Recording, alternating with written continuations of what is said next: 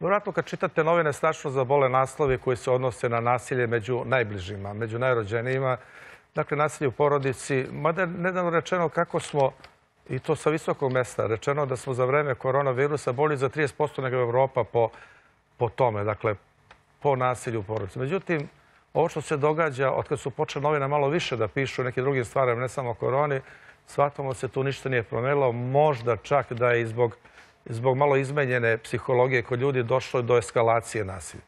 A kad kažem samo porodično nasilje, ne odnosi samo na ljude koji su direktno u porodici, na one dakle među najbliže, dakle među rođacima i dalje. To je nevjerojatno. Naravno nije objašnjivo to ni ono drugo nasilje, ali danas ćemo pričati o ovome, dakle nasilje među najbližim. Dragi gosti, prvo hvala vam što ste došli. Da predstavim prvo, prvo svoje goste. Zvezdan Milovanović, dobar dan Zvezdane. E, ti si osnivač kompanije Kopernikus, se tako kaže?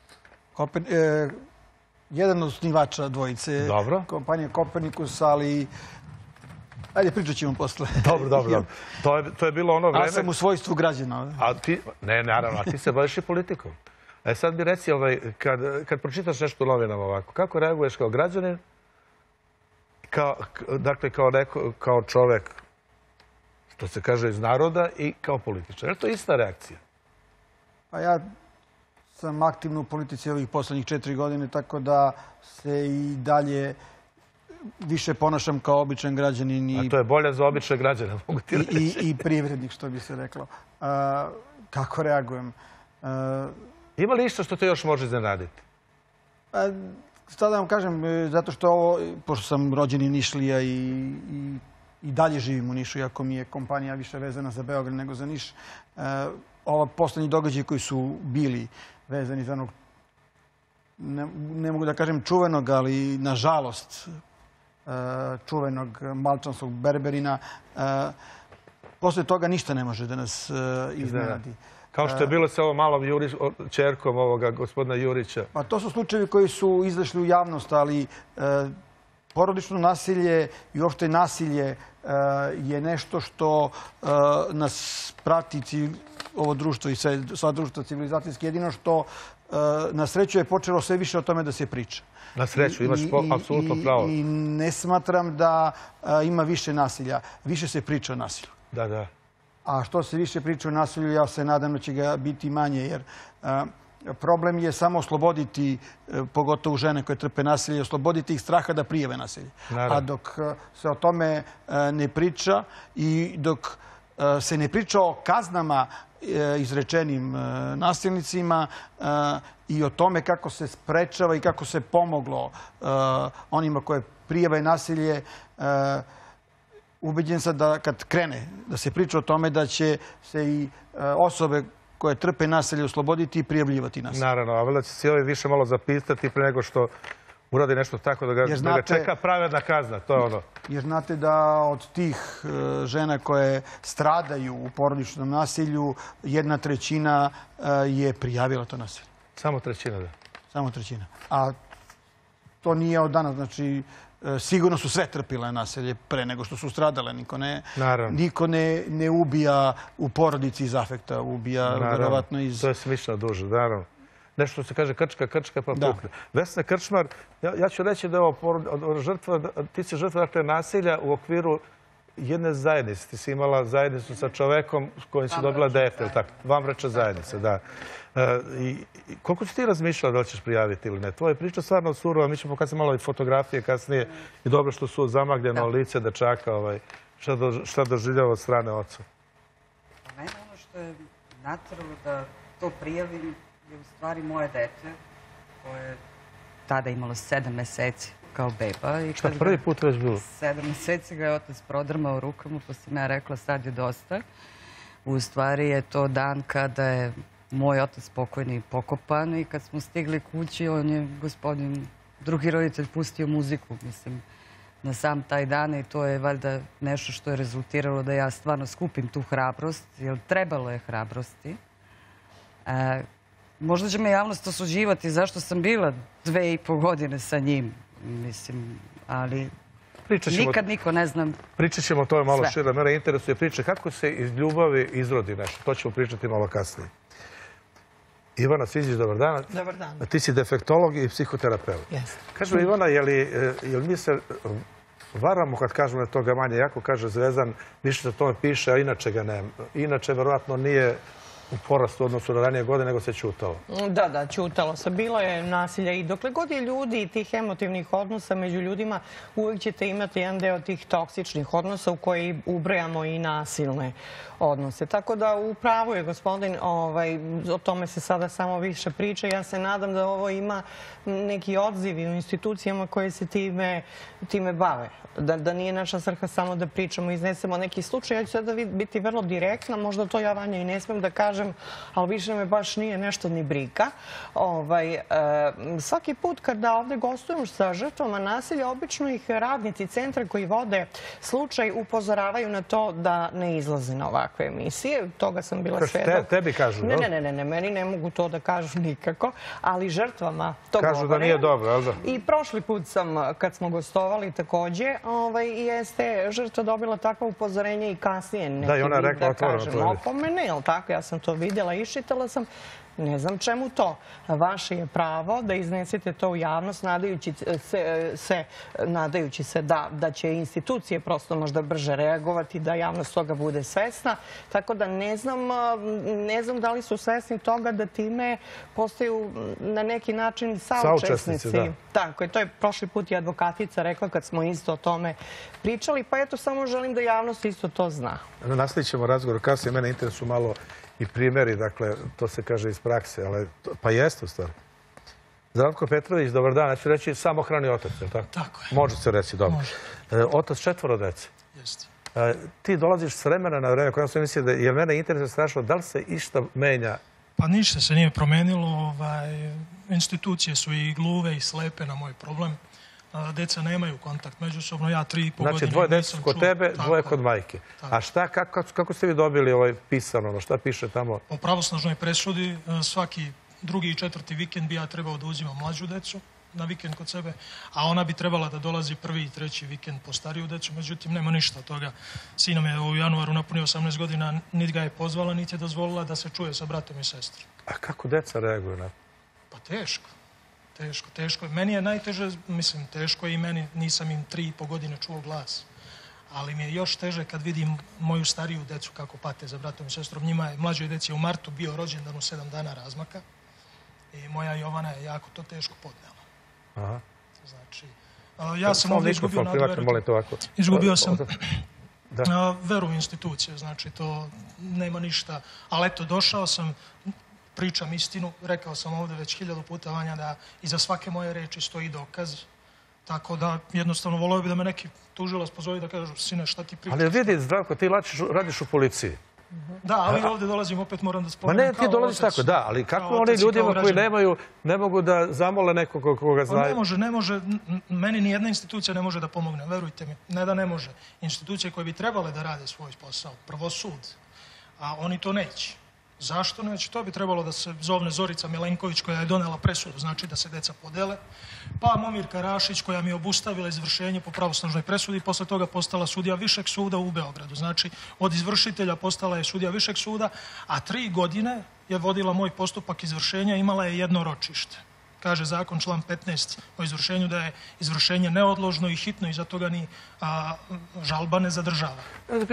Kad slušaš, kad slušaš ovo, ovakve stvari, šta, o čemu čovjek razmišlja? Mi imamo drugačije živote, ja i ti i psihoterapeuta, stvarno nas ovaj, verovatno potrebno, nije lako slušati. A Ja imam dvoje dece Da. i ne mogu da zamislim da se oni Da međusobno... ti podeli, da bude jedan kod majke, da se ne viđaju, da. E, slažem se, ali opet više razmišljamo o tome kako bi se oni međusobno osjećali. E, mi se naviknemo. To što je meni te- bilo bi teško, to je teško. Ali e, više mi smeta i više me boli to što Se braća i sestre- međusobno... Ja se sad borim da ih spojim, bar da se viđaju. Znači, ja sam svestan da oni tamo tri i po godine žive, da su formirali neki život, da idu tu u školu gde idu, da imaju drugare, ali hoću da znaju da imaju brata i sestre. Ovo je jedna veća tema o čemu pričali danas. Dakle, nasilje u širem smislu, više smo vezani za ono, dakle, nasilje prema najbližima, pa nekako i nasilje u samoj porodici. Nasilje među ljudima koji se nekada volili, kako ljubav iz Čili, i o tome ćemo pričati. Jer samo, verovatno se pitate šta je vezano i za dovoljno davanje krvi, a i protiv, jedan je znak protiv nasilja ovaj, u porodici. Ako ništa drugo, samo mogu da kažem, dajte krv, učinite, to je dobro delo, nekome će dobro doći. Jedan moj drugar uvek kaže, ne daj da ti tašta pije krv, bolje daj sam. Ali dobro, nemojte, ne, morate baš tako. Malo sam, pre sam te zvezdane prekinuo. Ovaj, e, odlično si počeo priču. Dakle, e, koliko god mi pričao o roditelji, ove priče najviše trpe deca. I kad čovjek razmisli o sebi, o svojoj deci, onda se vjerojatno zamisli kako je nekome drugome koji ima decu, kao što se čuo gospodin, ima dvoje dece na jednoj strani, dvoje na drugoj i deca pate ne mogu da se vide. Najviše trpe deca, a vrlo često i majke trpe zbog dece. Kao Da. prijavila bi, otišla bi, a ne mogu zbog dece. To je jedna uzrečica koja je istina, ali je problem. Evo i, i roditelji, i očevi, što bi se To reklo. je isto sada. E, normalno da je mnogo veći procenat e, takvih stvari prema ženama. Zato što je, su muškarci jači pol, ali e, siguran sam da i gospodin ima velikih problema. Kako da ne? Sa- Dovoljno što ima decu koju ne treba ništa drugo. Dovoljno ti što razmišljaš o, o tome stvarno. Evo samo interesantno. Čime se budiš, čime zaspivaš, čime se budiš? Koje su ti misli? Evo Ivana te gleda pa će ti rastumačiti. Ne mogu stvarno. Ne bih, znači, mogao da ulazim u to. Da. Nekad ih sanjam, nekad ne. Ali u svakom slučaju skoncentrisao sam se, počeo sam da gradim život. Ovaj, pomirio sam se sa tim da deca rastu i da, ćemo se vidjeti pre ili kasnije. A, ja kažem, meni je najveći problem to što ovo dvoje pate za bratom i sestrom i što i gledam tu. Da. Ne, meni je to problem. A sve ostalo ja znam da mora da prođe vreme. U institucije ne vjerujem da li će se sutra promeniti vlast pa će neko rešiti da napravi reda u tim institucijama. Stvarno ne znam, niti me interesuje. Šteta koju su moja deca pretrpela, a i ja sa njima, je nenadoknadiva. Da. Znači, niko ne može da im vrati ove tri i po godine a, života i da kaže, evo, vraćamo vam detinstvo, izlaske, izlete i tako dalje i tako dalje. Znači, Ne, institucije što rade... Ali, ali na- najžalosnije je to što se te iste institucije kao pod izgovorom a, da štite dečija prava, da štite majke, da štite ovu stvari, oni svađaju te roditelje. To je najveće. kako- kako Pa evo kako. Znači, ja nijednog momenta u centru nisam naišao na razumevanje. Znači, ja sam od samog starta označen kao neko ko je nasilan čim sam muško, verujte mi, tako je bilo. A sad su počeli i stariju decu da mi tako obeležavaju i žigošu. Kako? Pa Jovan Ratković piše da nije u interesu da se mlađa deca vide sa bratom i sestrom, jer su starija deca u periodu kad je moja Jovana imala 11, a moj Jovan koji je sad punoletan imao 13 godina, zlostavljali brata i sestru. To Jovan Ratković, psiholog centra Novi Beograd, piše.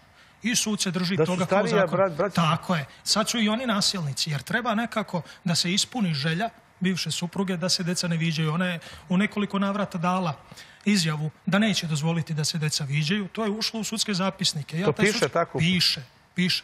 Piše, verujte mi, ja sam... Ti stojiš sam ti iza svake rekao, reči koju kažeš Iza ovde. svake reči koju ja A ovdje samo izgovorim. nešto da vam kažem, to, to ne može. Čak i da vi jeste, što ja naravno ne verujem i ne osuđujem vas. Pa Čak bio i- bi osuđen, a, da vam jesam. ka- pa naravno.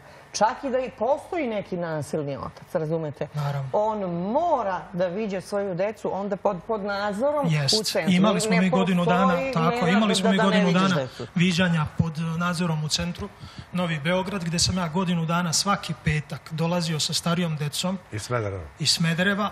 Morao sam da im pravdam te časove i tako dalje. Imao sam normalno i velikih problema zbog toga. I, ovaj, I jedino je bila prisutna policija. Znači, policija je redovno dolazila od 12 do 1 zbog mene u centar. Radnici centra nisu se pojavljivali. Ona nije dovodila decu. Ja sam zvao Momirku Rašić. Ona je jednom poslala izvršitelja sa mnom koji je konstatovao da ona neće da dovede. Ona je njemu dala izjavu da mi decu neće predati i da deca nisu u Beogradu.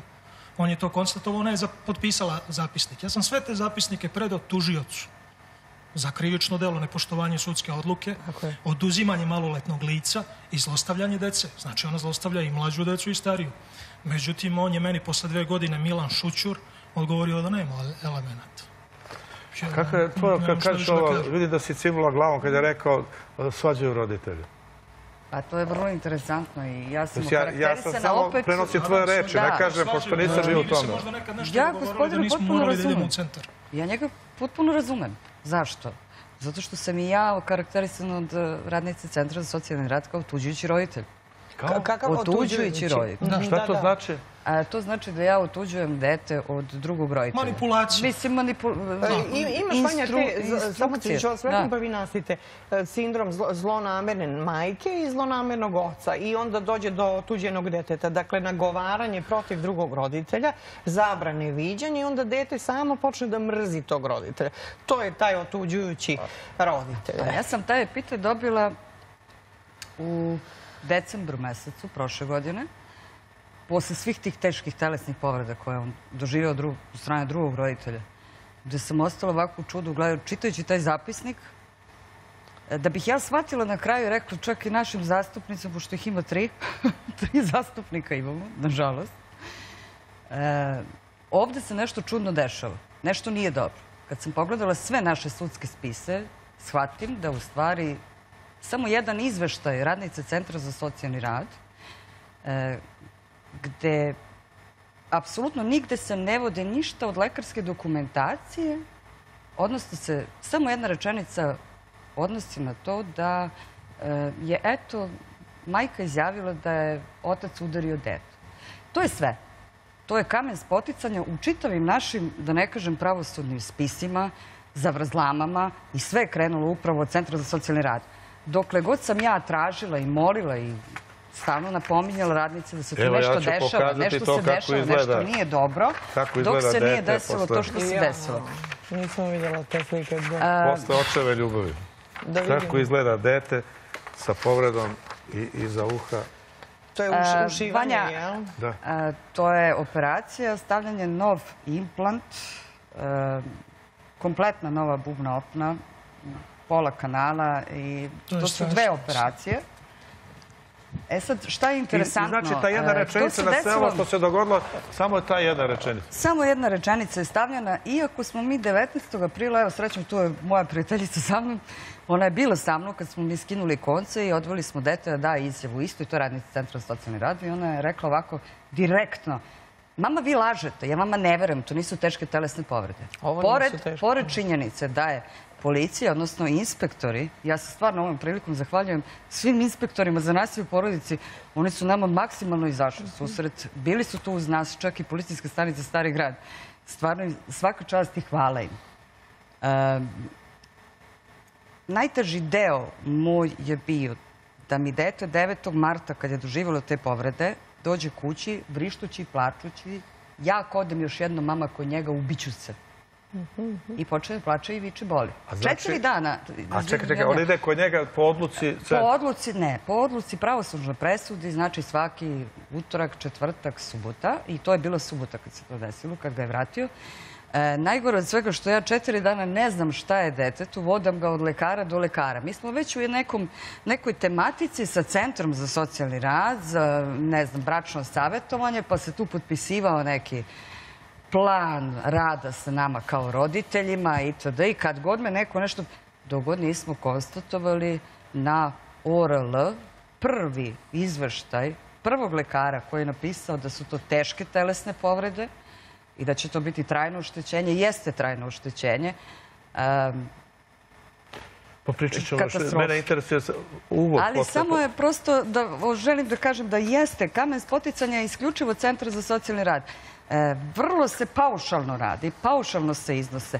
Moje dete je do sada zbog tog izveštaja koji je ona prosledila e, sudi u parnici, do sada 32 puta davalo izjavu po raznoraznim postupcima. Što u krivici... imam utisak da oni a- štite nasilnike. A čekaj, Znači, Svega dva, puta je dozvoljeno prednost. zakonom da se dete ispita tako maloletno. Meni čak i jutro sa ombudsman Čekaj, rekao... znači, postoji- Isto postoji- što ste vi rekli, nemojte da idete na televiziju. Zorane, pošto imamo decu, ovaj, ja ne mogu da zamislim da će moje dete ići, da, uopšte, koliko kaže, 10 godina dete, tako? Sad ima 10 godina, kad je doživio te povrede, je 9 godina. Znači, kad razmišljam o dva dece, 9 godina, prije dva puta da ide da, da objašnjava šta mu se A čeka ga, verovatno, vr- nismo još sigurni, e, pošto mora da se uradi još jednom treće psihološko veštačenje nad njim, znači da će opet morati da daje izjavu i onda ga na sve to mi očekujemo da vidimo kakav je odgovor javnog tužioca po pitanju tog optužnog predloga koji je već podignut, pa je vraćen na dopunu E, Da li će Vuk, da li će moje dete morati još jednom da se ispituje na neke druge okolnosti, odnosno seksualnog zlostavljanja? Je to tako, kako to izgleda u, u psihološkom smislu? Pa iz- nešto, ovaj, da. Pitanje izgleda baš smešno, ali ja moram tako da ga postavim. Kako je detetu, devet Pa godina? ja, jako teško, to su traume. Pre svega on je doživeo traume kada je doživeo I on ih ove... ponovo vraća u stvari. E, tako je, to se zove retraumatizacija. To je u redu, pošto dete mora On svakako... stalno proživljava to. Da, svakako mora da da izjavu jednom kad ode u centar ili u tužilaštvo ili gde već. Jednom mora, mora da kaže Jednom šta. mora, da. Jeste, i to je retraumatizacija. 33 puta je konstantno vraćanje deteta u traumu, jer on konstantno doživljava sećanja na sve to što se desilo i to je e, slično kao da na neki način ponovo doživljava traumu, što svakako nije dobro za razvoj deteta, ali ne znam kako o tome sad niko ne misli. Moje dete od 2013. godine ide na psihoterapiju. Dobro. Baš iz tog razloga što je mali. konstantno odbijao da odlazi kod oca. Nismo znali koji je to razlog i vidjela sam da ja tu kao majka ne mogu da, prosto ne mogu da izađem na kraj A sa kakve takvom situacijom. simptome ima? Ima no- noćne more? Imao je noćne more, da ne pričam da je mokranje u krevetu je bilo Da, da, da. poprilično dugo. Mhm, dugo, da, i često. A, buđenje u znoju, dok nismo dobili zabrane prilaska, odnosno mere zabrane prilaska oca na 300 metara, to su roletne spuštane non stop i nema nigde, evo, ni dan danas ne želi da izađe napolje da sam, ne. mogu ja vas dvoje da vratim oboje u priču, u- vjerojatno interesu i Zvezdane i mene. Evo krenut ću od tebe. Kako to krene da se neki napravi četvoro dece pa poslije dođe do ovoga? Pomešanje treće strane. Šta? Mešanje treće strane. Znači, ja sam imao svoju A suprugom... čekaj, bilo ljubav između vas dvoje? Pa naravno, mi smo se uzeli od 20 godina. Znači, bili smo Prerano, brate. Prerano ili ne, Ali Nama je bilo ljubav. trajalo. Tako da onaj, ja ne želim zbog toga četvoro predivne dece. Moj sin ima sad 18 godina. Najstariji, Znači, najstariji sin, 18 godina, on me sad i vozi i tako dalje. Znači, ja sam ponosan otac. On je odličan učenik. Jovana mi je odlična učenica, e, sportista, osvajala je, znači, trofeje. Ja s njim stvarno nemam... To ovo dvoje dece kod tebe, tako? Tako je. I ovi su mi bili, meni je Mihajlo, Mihajlo, reći ću slobodno pa šta bude. Mihajlo mi je na polugodištu drugog razreda pre nego što će ga odvesti, pošto je kod mene, znači bili su svo četvoro dece dve godine, majka nije bitno gdje je bila, ovaj, on je bio vrlo dobar, a Milica mi je eh, sve petice imala na polugodištu drugog razreda. To govori o meni valjda kakav sam roditelj, s obzirom šta centar piše. Centar me nikad nije pozvao na razgovor, ali su zato doneli mišljenje kako su doneli, nije bitno. Uglavnom, ovaj, otkako su podeljeni, ja nemam uvid Nešto to si rekao, Mihajlo, reći šta za Mihajla, pomenuo si, reći ćeš nešto. Ne, ne, nego što sam im pomenuo imena. Znači, A, deca su maloletna, oni imaju sad 12-11 Da, i ovo godina. sam zamagljeno isto Da. lice ovdje. Ali, ovaj, ali što kaže, svi koji me poznaju znaju i ko su mi deca, tako da nemam Ali moraš da mi vratiš opet. Ipak četvoro dece, ovaj, dvoje ljudi, vidiš da, e, je to sve u nadi da će se promeniti kad se toliko četvoro dece ozbi, ozbilja. Ozbiljna porodica. Ozbiljna, Ozbiljna porodica. porodica. Ja sam malo podigao možda, a, ja ne kažem da sam ja savršen i da nije bilo grešaka s moje strane. Znači, prvo ja nisam a, svađalica. Nisam želeo da se svađam s njom. Kad sam video da ona ide na neku priču, da me isprovocira, da ovo, ja sam se sklanjao, odlazio sam od kuće i tako dalje. Jednostavno nisam dozvoljavao da napravi problem neki ili incident, pre svega zbog dece. Ali ovaj, njeni su to tako zamislili, ona je uradila što je uradila, ja nisam verovao da će uraditi s obzirom... Čekaj, od kog deteta ti počinje ovaj, da se, se naslučuje da neće biti sve u redu? Pa oni su se mešali od prvog dana. Mi smo se zbog toga rano i uzeli. A roditelj, jel? Da, da. Kako? Rano ste se uzeli da vam se oni ne bi mešali, jel tako? N- Da, bukvalno tako. Pobegli od, od roditelja. Smatrali ste da će, da, će broj de, da će naredna deca i broj dece neće Ne, oboje smo želeli puno dece, nema to nikakve veze. Mi smo A ne, ima i to, ima to, to se događa često. zaista taj, broj, taj broj dece u principu čini složnu porodicu. Jeste. I to Jeste, pa ja ne kažem, ja u Jer 15 godina mogu da kažem da... da- sam 13 godina imao jako lepog braka.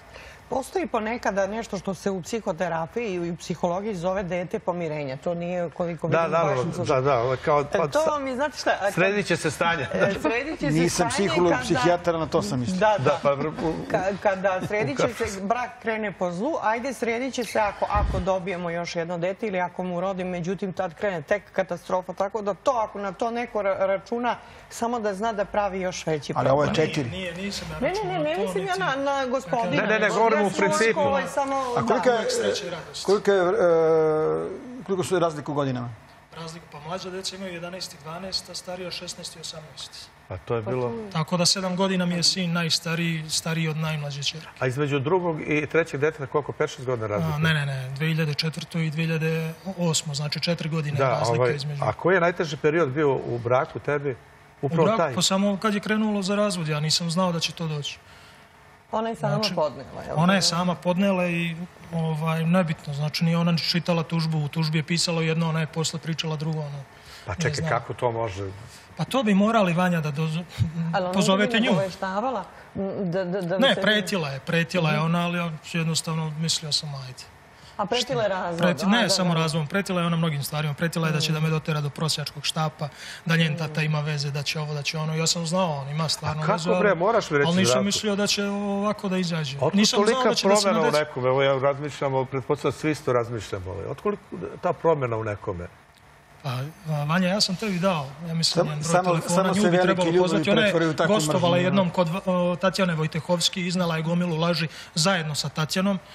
I ja, evo i Tatjanu Vojtehovski javno prozivam da je Dobro, ali jedan ovo je lažov, slobodno nezavisno od može- mene, Ne, da ne, se nezavisno, to ja na sebe preuzimam, jer je u svojoj emisiji pokazivala jedan dokument u kojoj jedno piše, a priča je bila sasvim druga razumete, a oni su je tamo predstavili kao žrtvu, jer samim tim, prvo muškarac, sam drugo policajac, radi u interventnoj. Znači, ne treba više niko da mi doda ni plus ni minus. Sve, razumete? Sve, sve su, mislim, što su želeli postigli i tu su onda pusali priču kako je ona doživljavala ovo ono, ali nikakav papir, nikakav dokument, nikakav dokaz. Ali Svi ja koji nas tebe sad pitam, kako se promeni neko koga poznaješ toliko dobro? Nemoguće da ga Ja to ne mogu da objasnim. Ja sam to pitao i sudiju. Ja sam samo sudiju Zoricu Milenković kada je donela presudu o podeli dece, zamolio da mi odgovori da li sam ja lud ili ko je lud. Znači, da li ja, ja sam tražio da svo četvoro dece dodeli ili meni ili njoj, Da budu zajedno deca. da budu zajedno. A ona je od prvog dana tražila samo dvoje mlađe. Zašto? Trebalo bi je dozvati ovde i pitati. Zašto je rekla da deca ne treba da se viđaju? Ja ću da ti donesem zapisnik, a ti ovde u emisiji pitaj Jelena, šta je s tobom da ti podeliš svoju rođenu deću? Jesi ti je rodila svo četvoro? Znači, ja stvarno ne mogu da uđem u to da kažem šta je u njenoj glavi. I na kraju krajeva ona mene nije kriva. Ja ne znam da li je to nju nagovorila majka, centar, ovaj, ona. Meni to nije ni u kraju A krajeva ni briga. o tome da je prošla ljubav. A neka je prošla ljubav, ali šta je s decom? Pa jel može prema Pa detetu da naravno, to je prođe sljedeće pitanje. To bi bilo sljedeće Da li može, Jovana je ona nosila ispod srca devet mjeseci kao i ovo troje. On je naš prvenac. Je napunio 18 godina. Majka ga nije pozvala. Ne dozvoljava mu da čuje brata i sestru. Daje izjavu. On sad mora sudski da traži da brata i sestru vidi. I on je podneo to, nažalost. Znači, dete mora da tuži majku da bi video brata i sestru. Zvezda je si malo rekao. prekinuli smo ti, izvinjavam se. Niste mi prekinuli, samo Nego sam... preživljavaš ovo isto verovatno kao svi koji slušaju. Ovo je svi roditelji, verovatno oni koji, posebno oni koji imaju neke porodice, srećnije razmišljaju o tome šta bi, Šta može bilo, šta bi bilo kad bi bilo, da. Ja sam razmišljao u pravcu ovog e, e, traženja krivca od e, treće osobe i treće grupacije. Da li su to njeni roditelji, e, centar za socijalni rad ili bilo šta. Vi ste očigledno u komplikovanim odnosima i vi to niste bili sami e, sve sposobni da rešite. Mislim da je greška tražiti, to će vjerojatno psiholog bolje znati, krivca u trećem. To je u A, vama. Da, znate kako To je, kažemo? to je, Da. to je, Ja se apsu- stvarno to je vama apsurdno. izvinjavam, A- ali a oni je- su slažem se, ali jeste... lažnim izveštavanjem. Jer, Slažem se, radi kad vas se- Ne, ne, neko nego kad se dođe dotle, to je kad vas drugo. Da vam neko etiketira i kaže da ste nasilnik i vuče vam se etiketa pet godina, a niko ništa ne preduzima da to dokaže. Ne, ne, Zbog govorite o centru, kako je došlo do to. toga. Radi se očigledno o mnogo komplikovanim odnosima nego što... Pa zato što je neko, ja mislim, korumpiran. Ja mislim da je u pitanju samo korupcija. Jer kada da čovjek radi nešto dobro, može da ima hiljadu razloga, da li veruje u Boga, da li se dobro osjeća zato što radi nekome dobro, sasvim je nebitno. Ali kada rade loše, verujte mi, 17 godina sam u policiji, uvek je isti, isti motiv. Ne, mene- Protiv pravna imovinska Niste se korist. razumeli vas dvojica. Znači, E, Pošto je rečeno, ako- mene ako si lično ubedio da, da, da si dobar čovjek i da si u Nemam šta pravu. ja Slažem nikog se. da ubeđujem, imaju Jer dokumente, imam imaju dece. Ne, ne, on misli da... da ali Ne, ne, niste se vi razumeli. On rekao, Ali ne mogu da imam potpuni sud dok ne čujem i drugu stranu. Naravno, ja bih da ja bih bio najsrećniji da ona sad umjesto vas tu sedi i da kaže ja sam podijelila decu zbog toga ili šta god već ima da kaže. Ja, stvarno Ja ću vam reći kako to u porodičnoj terapiji zaista radimo puno, porodični terapeuti s porodicama, brakovima pa i sa pojedincima, ali uvijek kažemo to što, što gospodin kaže. a, ima nekad upliva neke treće strane, neko vas treći povredi roditelji centar, ali kad dođe do tog bračnog neslaganja, to je u stvari tango u kome ne igrate dobro oboje, a ne vidite da ne igrate dobro i svako tu snosi svoj deo krivice. Ali molim vas recite mi, ako vi nećete sa mnom da razgovarate, kako ja mogu da vas natjeram na bilo kakav dijalog? Ona nije htjela samo da... Naravno. Znači, mi u sudu, sudija joj kaže, jel možete vi, Jelena, da se ne, ne, ne, dogovorite sa a to je već kad ste došli do suda, ona ti govori o Pa životu pre pa dolaska i u u sud. životu. Ja sam dobio tužbu za nasilje u porodici, razvod zbog nasilja u porodici. I nisam još o čemu A da koji je pričam. ona povod tu stavila za... Sve na- najgore, sve što možete da zamislite, sve najgore. Međutim, već od prvog ročišta se to promenilo na neku sasvim A drugu mogu još priču. nešto da vam kažem? Vidite ovako, da vam je ona uzela, ona je možda bila, ja to ne znam, ali eto neka hipoteza. Možda je bila nespremna da odgaja svo četvero dece, to je mnogo dece. Mladi ste bili, to je E, istina. Da. Da vam kažem E, nešto. Samo nešto, molim vas da vam završim. E, Da je ona dobila to potpuno staratezu, pitanje je da li biste uopšte to četvoro viđali. Mislim da vi ste u stvari negde srećni što to dvoje rastu sa Pa, Upravo vama. mi to danas Željko Grujić, moj prijatelj, kaže. Druže, kaže, ja bih voleo jedno da je sa mnom, bilo bi mi lakše. Da objasnim šta je reč o Željku Grujić, ima troje dece. Žena mu je praktično kidnapovala decu i otišla u Sloveniju. Ona viđa svoju decu. Godinama. Znači, ovdje smo imali i primere, ne dolaze nam samo žene, ovaj, e, dolaze i muškarci. To je... Potpuno razumem. Imam Dejana doći, doći Pavlovića. polako. Jesi htjela ili nisi E, završiti? htjela sam da kažem da, da to možete s, te strane posmatrati. Ako ona već takva odvojila je da ne viđate međusobno tu decu. Dakle, ima tu nekog, neke zle namere. Zlo, nameran roditelj malo Ali ja ne krivim nju, ste ja krivim instituciju. A dobro to Pa ja sam srećan, se ja sam sa svojom I- I decom. budite srećni jer, Ja jer da ih je uzela. Pitanje je, sad biste ovu priču pričali, ali biste rekli ne viđam decu četiri godine. Naravno, pa dobro, meni su starija deca E, već bila povelika i bila su svesna, vidjeli su šta se de- doš- dešava, ovaj, tako da i kad su došli u sud da daju izjavu, oni su rekli šta su imali. I sud je to sve konstatovao i ništa nisu preduzeli. Ja uopšte ne krivim nju. I kako Ona je moguće, kako je moguće, glavi, to a, izvinite, kako ona dakle se razvela zbog vas jer kaže da ste nasilnik. Pa kako je onda centar vama do, dodeli, oni ne To je dodeli? sve nelogično, centar da, Centar Upravo to bi. Centar, centar je Oni kamen su, spoticane za sve. Skoro dve godine. Stalno donosili privremenu meru, privremenu meru, privremenu i izjašnjavali se da ne mogu da daju konačno mišljenje. Kada su deca ispunila uslov, starija deca, da daju izjavu Da u sudu. izjasne. Oni su dali izjavu u sudu, rekli su da žele da žive s ocem, rekli su zbog čega ne žele da žive s majkom i sve su to lepo objasnili. I tu su već se vidjeli elementi nasilja majke nad decom. Centar je bio tu prisutan, što je zakonski obavezan. Centar ništa nije preduzeo, Zorica Milenković ništa nije preduzela, tužioc nije obavešten. Ja sam posle obavestio tužioca koji mi je rekao da to opet mora centar da radi. Ali ovaj, sad sam odlutao od, od priče, znači, deca su Ne, ne, dala- moraš tebi objasniti. Rekao si tu se vide elementi nasilja. Kakvog nasilja? A ona je tukla stariju decu, stariju čerku To nisi znači. pomenuo pa zato ti, zato Pa vidi... da, tu, i Jovana je moja izjavila da je majka stalno bije, pogotovo kad je tata na poslu, ja sam radio vrlo mnogo s obzirom gdje sam i kako radio i ovaj, normalno bila je u strahu, nije mi sve prijavljivala i tako dalje, ali ovaj, znači ja opet potenciram. Nije, ja s njom ne mogu da razgovaram. Ona ne želi razgovor. Znači, niti je teram, niti... Ja, Nema dogovora, Znači, nema ja znam, meni deca su tu na Novom Beogradu, gospođo, ja tri i po godine nisam otišao u školu. Neću sebi da pravim problem. Šta, Jednom ne, ne smeš da prilazi u ne, ja školu? ne smem, nemam sad nikakvu zabranu, ali ne želim zato što će ispasti neki problem. Moja deca starija kad su jednom otišla u školu, majka je pozvala policiju i prijavila ih za kidnapovanje. I mo- Kako, kako ne razumem? Kad su starija deca starija deca su došla sama u školu, u osnovnu školu Da na Novom Beogradu, da vide mlađeg brata i sestru. i ušli su u, u, u ovaj, Dvorište. u učionicu, u učionicu, jer ih do dvorišta dovodi baka, baka ili deda. I ovaj, po majci, znači, ba- baba i deda. I a, ušli su u učionicu, učiteljica ih je normalno videla, obavestila je direktora, direktor je obavestio majku, ona je odmah pozvala policiju, došla je policija, ispitivala decu, što su došli, kako su došli. Da vide i tako sestre. dalje. Tako je, jednom da vide brate i sestru. I posle toga ja sam vidio da ne vredi. Ona je prijavila da sam ja došao da kidnapujem decu. Meni je sreća bilo što sam u tom trenutku bio na radnom mestu. Tako da tužilac tu nije imao šta da radi.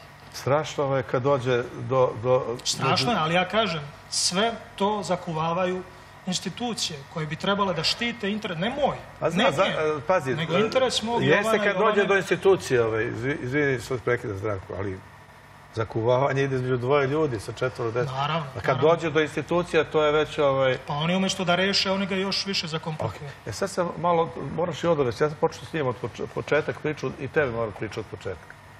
Vas dvoje, ste vi volali ti i tvoj suprug? Moja je priča vrlo interesantna. Ta, tih prvih godinu dana još i bilo lepo i ovako i onako. Mada i u toj prvoj godini ja sam dobila šumaču. Šamar? Ni, ka- ni kriva ni dužna, eto, zato što ga je neko drugi iznervirao. Pa onda Čekaj, posle čekaj, bilo polako. Jel on pije izvinjavanje. ili nešto? Ne. A čime se bavi tvoj suprug? Ja, koliko znam, bavi se privatnim obezbeđenjem privatnih lica. Nije policajac, ima Znači, on krivičnih dela na sebi, to ćete vi kao... obezbeđenje. A zašto su dobila te polišane? Zato što ga neko drugi iznervira. I posle je bilo plakanje, pa da se vrati, pa izvini, Bilo pa... medeni mesec, pričali smo e, Mislim, prošli put, to, psihološki... Medeni mesec a, nasilje, ide nasilan čin i posle Da. toga obavezan period. I, i Da. ponekada Pla- ne, ali vrlo redko ne. Izvinjava se, moli, onda vi mislite tako da će to sve biti u redu, evo voli me i pomirujete se. I posle nekog vremena ponovo Opet, nasilan čin. Opet, ali kad sam... Je to na javnom mestu bilo ako ga iznervirao neko drugi ili telefonom ga neko iznervirao?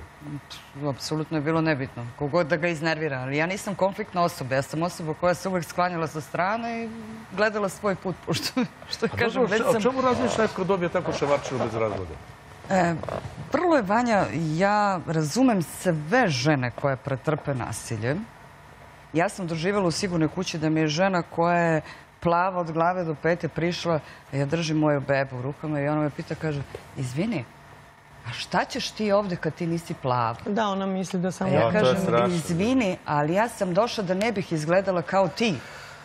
Znači, naviknu se ljudi. Pa da. Žene se naviknu. Ja sam sa tim ženama u sigurnoj kući pričala. Znači i moje dete i ja smo bili korisnici sigurne kuće. I sada kada se ovo desilo, umjesto da radnik Centra za socijalni rad sagleda celu tu sliku, tim za nasilje u porodici nije radio, to je pokrajinski ovaj, sekretarijat. Došao ti već sve na kraj, ajde opet na početak interesuje me ovaj. A šta si se u sigurnoj kući ovaj videla? Još te mole. Svega i svačak. E, je žene prvo kuća? nisu edukovane dovoljno. Žene koje se izuzetno plaše. Žena koja razmišlja ovako, jao šta će biti kad izađem napolje. Evo dobila sam presu, a kako ću da A to je živim? sasvim normalno da se tako razmišlja. ali to Kako ću da živim, od čega ću da živim? Imate I onda se mnoge vrate. Sad ću vam reći, Nasilniku. 70% je žena u sigurnoj kući koje nemaju svoju egzistenciju. 70% žena. Ja sam imala svoju egzistenciju.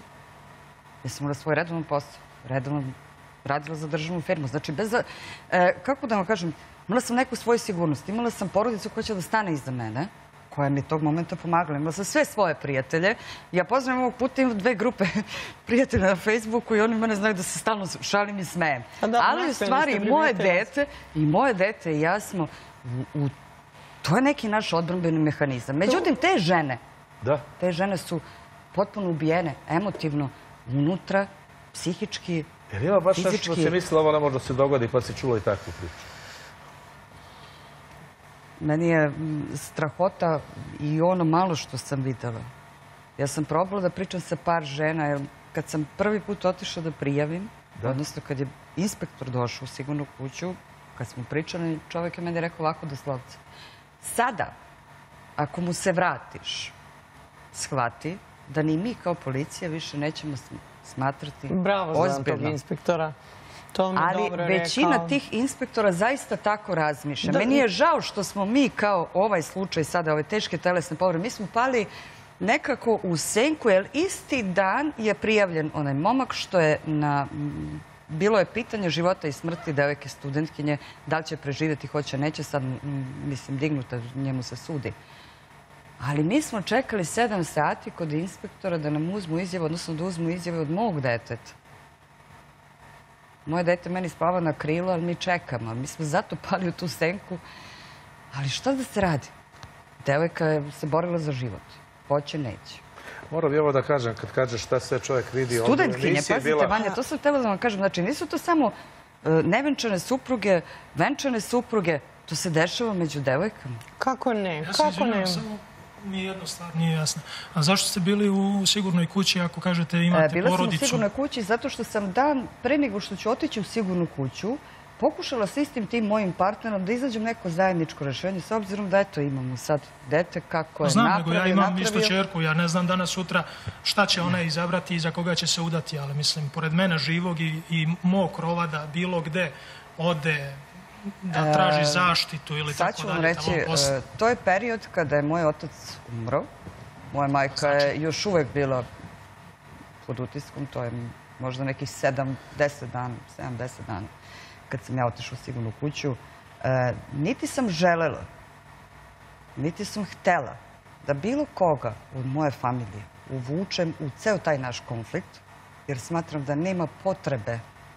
Ako mi bude trebala pomoć, ja ću je potražiti. Pa ja mislim da, da je li familija veliki oslonac i da treba ali ne želim da uvlačim e, još nekoga u taj Da konflikt. zaštitiš drugi. Pričamo danas malo o nasilju među najbližima, među najrođenijima, o nasilju u porodici. Počeli smo, Vesna i ti da pričamo. Da se vratimo nazad malo. Ovaj, e, ti si gajala sama dete, tako sve vreme? Da.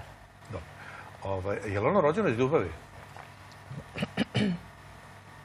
Pa i nije baš. Sad, s obzirom da moje dete gleda ovu emisiju, ja ih ne bih Ne, ne, dobro. taj deo A- a verovatno baš ovaj, e, iznala. zato što- E, Ja ću samo da kažem ovako rečenicu. E, Radnica Centra za socijalni rad je to ovako nazvala em, odobren seks, ali neželjen. Aha. Prevod je Znači, bila je formulacija s druge strane drugačija. Ovaj, Desilo se. re- Reci, ovaj, mogu, mogu, da rekonstruišem odmah, jasnije mi je ovaj sve. Ovaj, e, e, jesi li, mada je to teško, bar se nasuti, jesi ikad zažala zbog toga? S jedne strane i- imaš jedan ružno sećanje, nešto, s druge strane imaš dete koje mnogo voliš, a dete se voli bez obzira. E, dete e, nisam zažalila. Moje. Ja ga nosila, ja ga Da. dojela, ja ga podigla. Jedino što sam zažalila što e, nisam uspela da objasnim određenim institucijama da se nešto dešava i da to spreče. A kako to dugo traje? Vidiš ti... Dugo traje, da, dugo traje. Ja od 2013. pokušavam centru da kažem da se nešto dešava kada se dete uzme na redovno viđanje i kad se vrati, nešto se dešava. E, Šta, na primjer, da... da, da. Jednostavno ne želi da vidi oca. I ne želi, i ne želi, i neću da idem, i mama ne ide mi se, i pričaj sa njim, i onda ajde mama nekako pokrije jednom da ne ode, pa drugi put da ne ode, pa... Ali ti je Ali rekao to ikad je- zašto ne želi? Jel ti on objasni? Stalno je u kazni. Ja kažem kako Šta stalno to u znači? kazni. Tata ga kažnjava stalno. Da. Zašto te sad kazni? Mora da si mu nešto rekao. Ne, mama, nisam. Bio je bes. Ja prepoznajem to kad meni dete kaže bio je besan, zato što sam ja to... Pro... Ja sam A je on ja- besan čovek inače?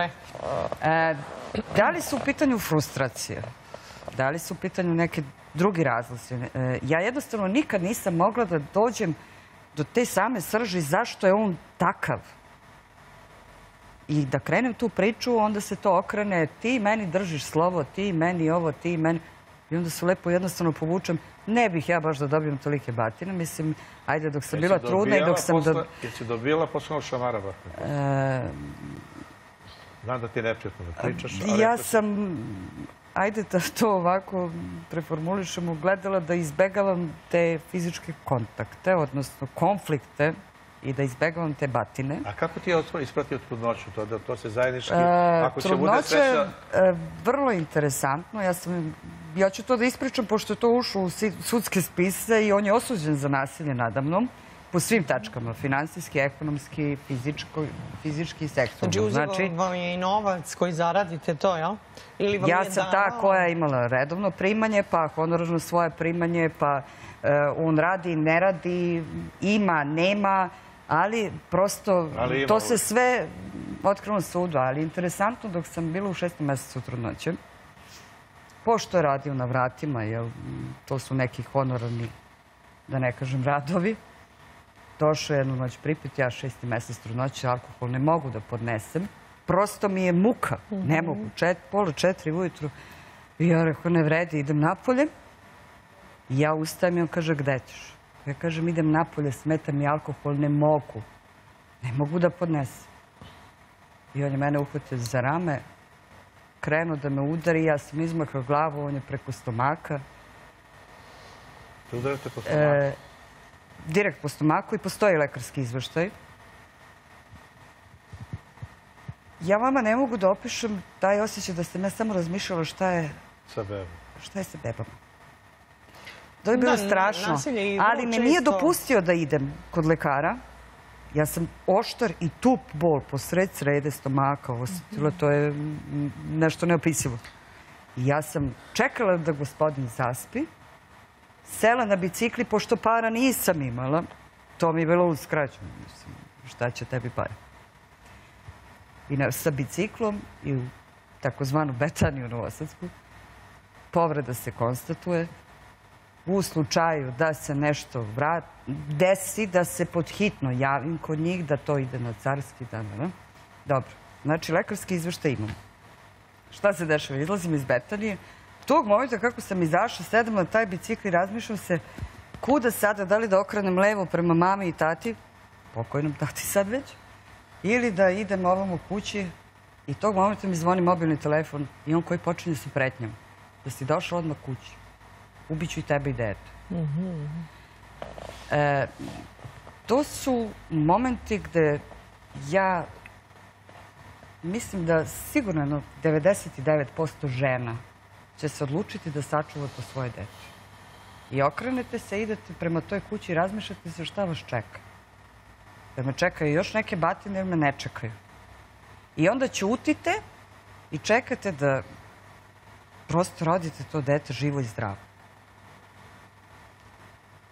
To jednostavno e, nije išlo. Znači, evidentno da e, postoje i osobe, e, to sam spomenula, Dejana Pavlovića, on je čovjek koji je osnovao udruženje očeva. Ja sam vrlo često s njima na vezi. I stalno pričamo na tim temama. Što I oni kaže, koji su u istom ovom problemu. Da, udruženje, ne, ovo- to je udruženje. udruženja. Da, ali ovo je novosadsko udruženje. Ja ovom prilikom pozdravljam Dejana. Dejan Pavlović Deksaja. Jeste, Deksaja. E, vrlo dugo smo pričali To na je tu sigurno temu. kuće za muškarce, tako to je to. Pa i nije. to je Imaju četiri, četiri imaju, četiri imaju osnovana udruženja za zaštitu sigurne kuće za muške. Ja ne mogu da kažem da nema žena koje to zloupotrebljavaju kao država što je u vašem slučaju. Možda. Znači, ja ne mogu da sudim o tome. muškarci koji su znači nasilni, daleko od toga da opravdam i daleko od toga da želim da me neko svrsta u koš sa njima. Znači, činjenica je da postoji puno žena koje trpe i ja sam siguran da od deset žena koje trpe nasilje, možda dve prijave, ali sam isto tako siguran da od deset žena koje prijave nasilje, dve možda trpe, a osam lažu. Upravo ima to. puno Upravo pro- to problema kažem. oko Znači, toga što ima da- puno lažnih prijava i što se tome ne pristupa ozbiljno. Razumete? Da. znači, činjenica je da ima žena koje trpe strašno nasilje i koje neće da prijave iz raz- raz- raznih razloga, i zbog deteta, i zbog straha, i zbog ovoga, i zbog onoga, ne znam nija zbog čega sve. Mislim, ja ne mogu da se stavim u kožu te žene, jer stvarno nikad nisam živeo sa takvim i dobijao batine od takvog ne znam šta bih radio.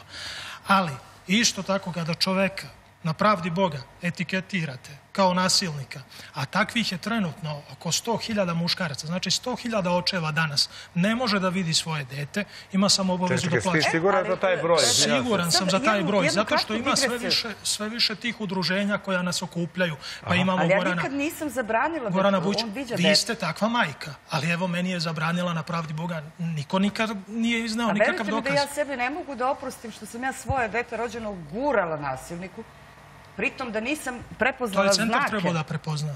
ali centar nije hteo da se bavi sa tim. E pa ja upravo pričam da je u centru problem. Znači institucije ove Ka- zemlje koliko god da sam ne da puta ne rade prijavila, kako treba, tražila nego rade. Evo rešenje. psihologa da pitamo št- šta biste vi rekli za roditelja, ne, znači nebitno otac, majka, koji rođenog brata i sestru ne dozvoljava da se vide.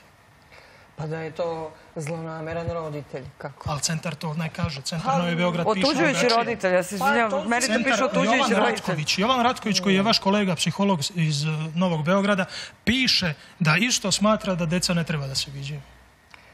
Ja ne Ali znam da isto tako postoji, kažem, mera. Ako zaista taj čovjek smatra da stvarno postoje neki indikatori zašto ne, Trebalo bi ja to biti ne verujem.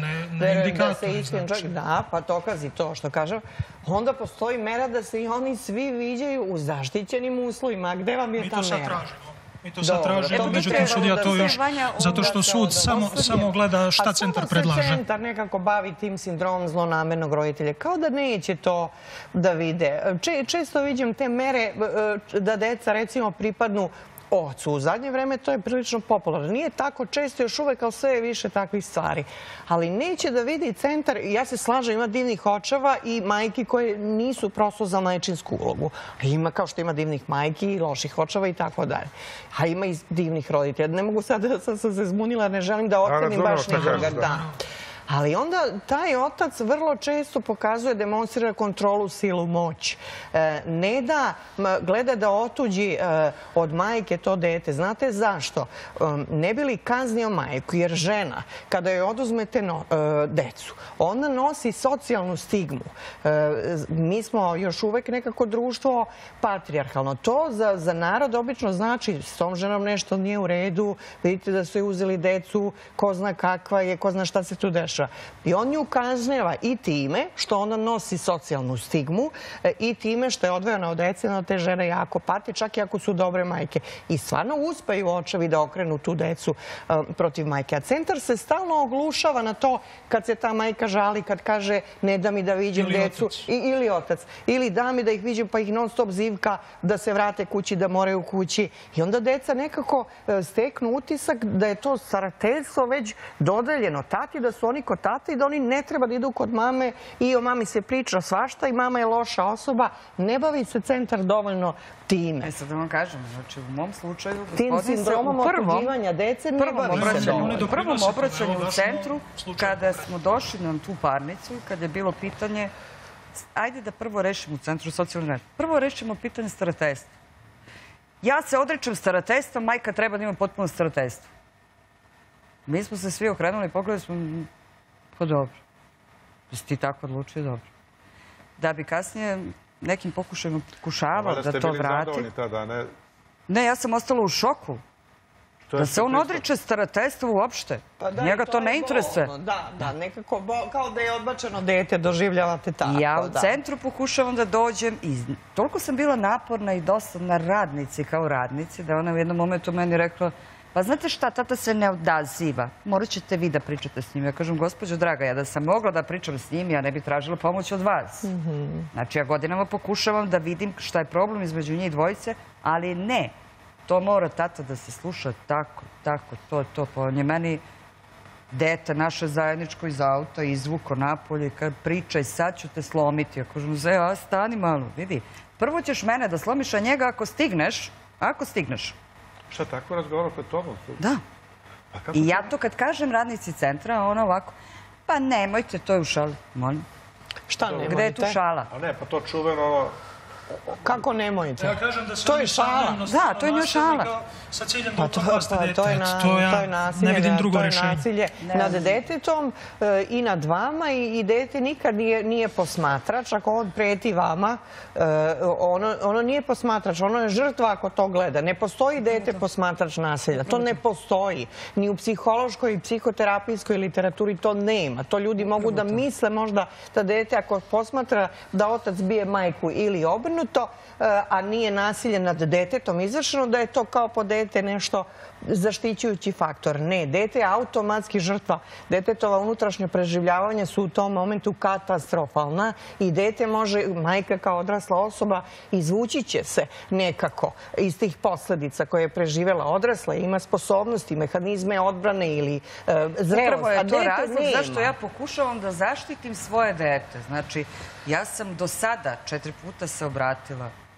pokrajini, četiri puta se obratila ombudsmanu, da zaštitim dete, da se dete više jednostavno izmesti iz svih tih sudskih zavrzlama. Da ne bi bilo Ali nema ko da ga zaštiti.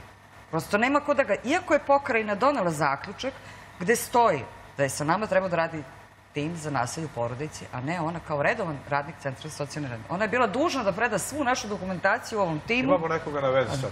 Halo? Dobar dan, izvolite. Dobar dan, Vanja. Hvala što ste zvali, izvolite. Se izvinjavam, ali Ne, nemojte se izvinjavati, izvolite. gledam, redovno gledam vaše emisije. Da. E, imam ovakav slučaj u porodici. Ja sam stara gospođa, ali u porodici imam ovakav slučaj. E, Emisije su, da kažem, odlične. Iznose se slučajevi. Sve, sve je tako kako jeste. A stanje je sve gore i gore. Recite o tom slučaju koliko možete. Naravno da zaštitite sebe i ovaj interesom o čemu je reč. Pa, o nasilju koje je naknadno prijavljeno, odnosno kad je često izašla iz kuće. E, brakorazvodna parnica četiri i po godine. Privremena mera, e,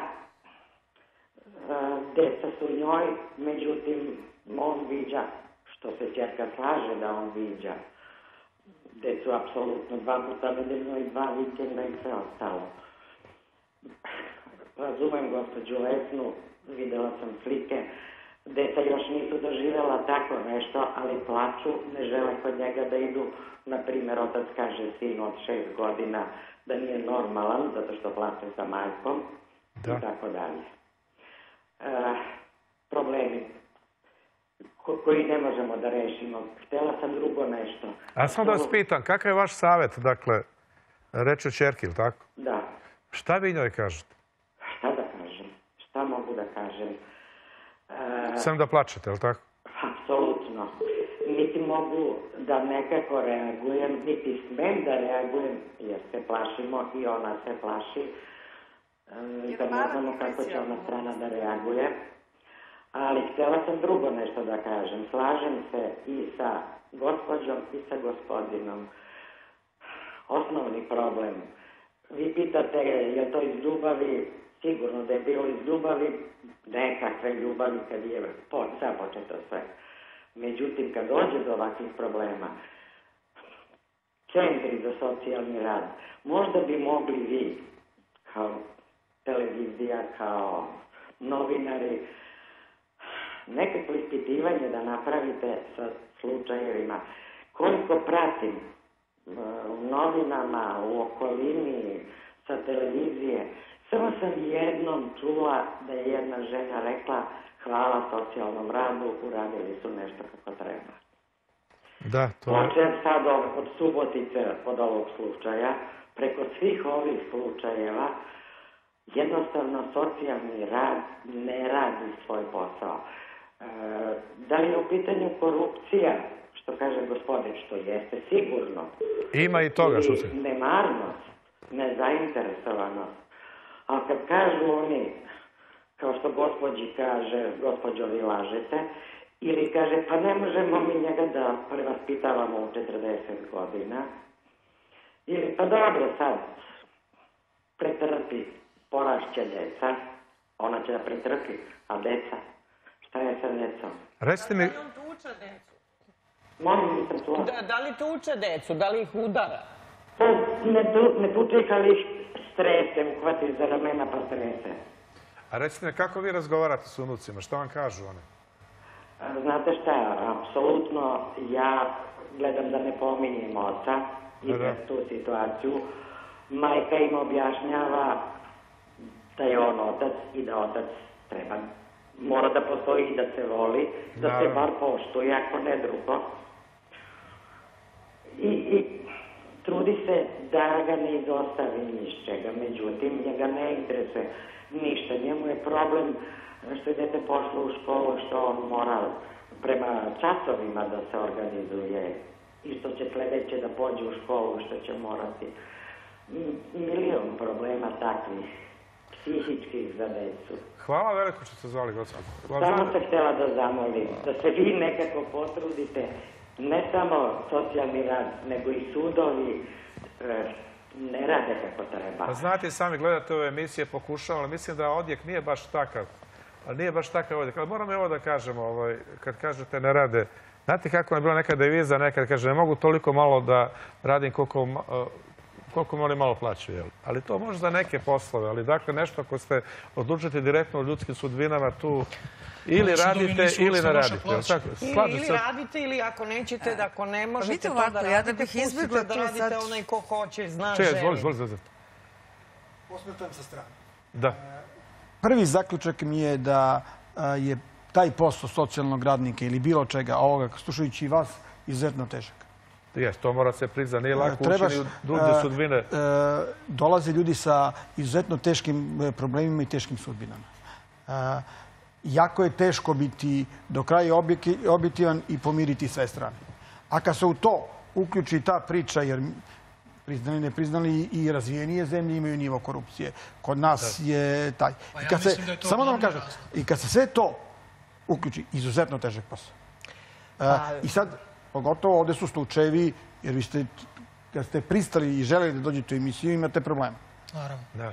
I vaši problemi su malo veći nego oni drugi. I tamo dolaze ljudi sa problemima. E, suština je, treba pokrenuti uopšte društvenu akciju e, da krenemo da se ljudi oslobode straha, prvo što se tiče žena, a očigledno i što se tiče, Prvo što se ljudi tiče su izgubili muškaraca. poverenje u institucije. Sam To je najveći problem. Jer kogod se obratio nekoj instituciji, on je ušao u probleme. jeste, jeste taj posao težak. Samo da vam kažem, Da. Čekaj, završi samo. Izvoli. Verujte, to vi nemate problema u institucije, ali postoje veći broj. Ajmo da odradimo statistički koliko su ljudima rešeno, koliko nije rešeno. Ja ne kažem da u institucijama ne rade pošteni ljudi. Ja garantujem da, Ali da- a, i u sudu rade da je- pojedinci koji su časni. Samo što ja nisam imao sreće da nalepim O, sudu, o sudovima i tužilaštvima isto, to je isto rak rana u društvu rak zajedno. rana. Eto, znači vi se slažete da je to rak rana. Slažem to se. je rekao i naš predsjednik Vučić, jel tako? Mi smo, Znači- a, mi smo država koja je e, ušla u implementiranje nekih evropskih e, e, vrednosti i evropskih Na načina. štetu naše dece. Nije na štetu naše dece, nego očigledno nismo dovoljno spremni za e, takav nivo ne slobode su- sudstva. Znači, kod nas je sloboda verovatno shvaćena a, Javašluk. kao. kao... Javašluk. I- i- demokratija i- kao I još nešto, verujte, e, ja znam, igrom slučaja, e, sam na takvoj dužnosti četiri godine da mi dolaze ljudi sa problemima. Ja ću vam A, samo Samo jedno- da vam kažem i, i da završim. A, nivo sprege, e, sudstva, advokata, izvršitelja, to je trenutno najteži problem u Srbiji. Zaista je to jedna ozbiljna sprega, jedan ozbiljan biznis koji najbolje funkcioniše u Srbiji, ali na štetu a, a, ljudi Građana, koji nemaju... na štetu građana. E, Na štetu ljudi koji a, nemaju dovoljno ni novca, ni znanja, ni, ni a, e, neke socijalne sigurnosti da mogu da se odbrane od, od toga. Ajde sad ovo je interesantno. Zvezdan, ti, dakle, baviš se politikom. Ja kažem, real, e, priznajmo, e, dok se e, problem ne prizna, ne može da se reši.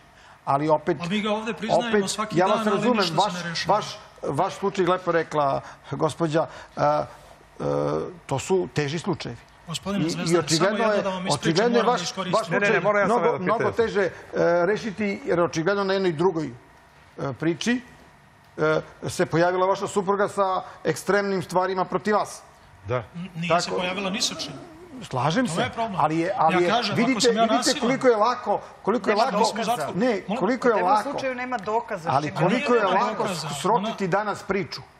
Sročiti danas priču i napraviti, ubediti javno mjenje e, u ozbiljnoj e, Ne ja da procentu sročim. da je, da je ono to u što je ona izjavila, to je sud Tako konstatovao. da- znači tako da- ima Ne, ne bi sudski pečat na to. izjavu. Tako da to nije stvar, e, verujte, to nije stvar e,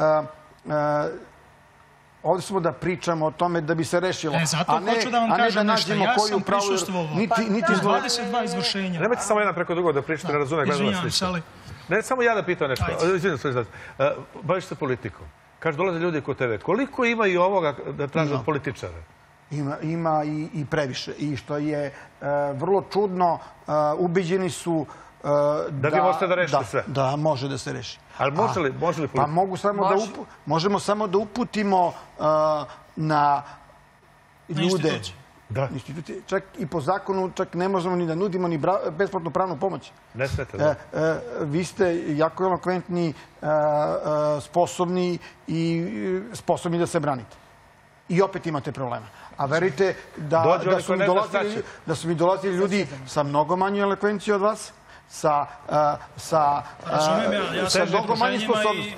i znam šta sve a i ima tak- i I trudimo takvim ljudima e, treba pomoći. E, mnogo je socijalno ugroženih ljudi e, koji su na rubu egzistencije, a sa takvim problemima. A šta ima da ti kažeš? Šta im kažeš ove zvezane? Na šta ga uputiš? Na institucije? Ne, ne, pa opet i to je e, nezgodno jer zakonom je zabranjena e, besplatna pravna pomoć. Ali možemo e, da obezbedimo mi da platimo advokata. Dobro. I to smo radili. I, i da obezbedimo pravni savjet i ovo. Ja bih se, Dobro, ja da, vi ste u Ima, pravu. ali i tu traže da, da ulazimo u... Ja bih se Pa nadovezala na moram ovo politički. ako mogu. Možeš, može. Ko može? E, izvoli. Ajde ti. Ja bi se, ja bi se malo nadovezala da. na ovo politički. E, kad sam pročitala taj čuveni izveštaj te radnice Centra za socijalni rad, gde sam ja jednu divnu rečenicu od supervizorke, pa ja se izvinjam, ona je supervizor. E, supervizorka ovako napisala. Majka ima 21 godinu radnog staža koji je istekla honorarnim radom. Videla sam s kim imam posla. To kao minus ili plus? Ne, ali- Ko još stiče honorarnim radom radni staž? Ne, nije činjenica, e, ne poznaje zakon o radu. Da, ne može radni star, staž da se stekne honorarnim. Da. To je, ali to je supervizor, pričamo o supervizoru. Gospodine Zvezdane, samo ću jednu stvar da vam kažem. Ja sam doživeo u 22 ročišta u Centru za socijalni rad u Smederevu da mi Sonja Todorović, psiholog centra, izudara stariju čerku u pokušaju da ju iz ruku Čekaj, čekaj, čekaj, čekaj, ti govoriš ozbiljne stvari. Ozbiljne stvari ne prvi put. Ne Da iz- prvi put. Ovo sam i tužilaštvu izneo da koje mi je reklo da, ne, da izudara dete pred policajcima i sudijom Slobodanom Ignjatovićem koji je leđima okrenut celom, a, celom događaju i kaže meni kad mu kažem gospodin sudija šta se ovo dešava on kaže ja ne vidim ništa da bi došao policajac i rekao sudija ovo nije u redu da udaraju decu i to se izvršenje obustavilo ja sam novčano kažnjen po ko zna koji put. 22 takva izvršenja. Ako mi ne verujete, ja ću da vam prebacim sa telefona snimke. Ja imam gomilu snimaka gde mi prete deci da će da ih pošalju u- različite hraniteljske porodice. Gde, znači, ja ne mogu da vam objasnim. Pustim vam jedan snimak od 40 minuta pa vidite šta se radi u sudu. Tako da ne može niko da me ubedi da je to njihov težak posao, da se oni sa svačim jeste sreću. težak posao, ali da ga pa rade, Ja ovaj, radim dobro težak posao, nikoga nisam izudarao na pravdi Boga. Znate šta? Znate, da, ja, da, policijski da, posao je jeste. izuzetno težak. Verujte mi, Jeste. 2014. Težak. svašta sam video u Obrenovcu, Pa- pa samo a sam nešto ostao da- Koliko sam ja video od uh, gospođi i svih ovde, najmanje pritužbi na rad uh, tvojih kolega i, i policije. Ne, ja ne Zato što A smo onda mi kad idemo, ljudi. kako idemo prema sudstvu, situacija je loša. To je to. A u Pa policiji još uvek više ima časnih. Političkog tog dela, pošto sam vidjela s kim, s kakvom radnicom imam posla, vidjela sam da ja tu neću izaći na kraj. Ja sam se obratila našem dragom predsjedniku, gospodinu Vučiću. Posle dva mjeseca sam dobila odgovor nazad O, pa od dobro, gospodina dobro Selakovića. Pa sam onda dobila odgovor od načelnika Vukote Vlahovića, kog danas nisam uspela da sretnem, vidim, pošto nisam našla nikog tamo. E, da bi meni odgovorio republički za socijalno dobro, pitanja to- to- i manje više. Je Dob- Jeste, ali šta je? Ja hoću da iznesem to činjenično stanje. Znači, predsjednik, pa gospodin Selaković, pa onda dođemo do Đorđević, I šta oni e, Đorđević je... e, Čekaj, a- pa smo onda do Vlahovića, pa je? Vlahović poslao prema pokrajinskom sekretarijatu, a ja sam uđu A, a vremenu šta već, su odgovorili? e, da će proslediti predmet to i to. E sad ono što je interesantno. a čekaj, to je logično. Znači ja sam morala da idem od Osko ka dole i dobila sam inspekciju. Ja se zaista ovog puta zahvaljujem pokrajinskom socijalnom, kako ja kažem. Oni su za vreme korone vršili inspekciju. Za vreme korone su vršili. Ja se njima divim, oni su ušli u naše spise i imali su šta i da nađu. Na šest strana je meni vraćan odgovor. Gde i koliko je pogrešan. I svaka im čast, hvala im. Ali hoću da kažem, to politički kad vi kažete kod vas dođu, ja pitam, šta rade žene koje nisu dovoljno obrazovane? Upravo ono što je on kazao, lako je elokventnima i ovima koji mogu... Ja mogu da izađem na kraj. da prekinem, kad ti dođu žene sa sela, Da. kako? I Ona sa preplašena i modra. I, i iz grada. Sa sela je Pa ne tek još... Ne. Mada je e, statistika pokazuje tako da je ve- su veće zlostavljanje u gradu. U gradu, da. Da. Kao nervozno se živi, pa onda... Pa i nervno se živi, a i Ne kao objašnjenje to, kao nervozni su ovaj posao, pa...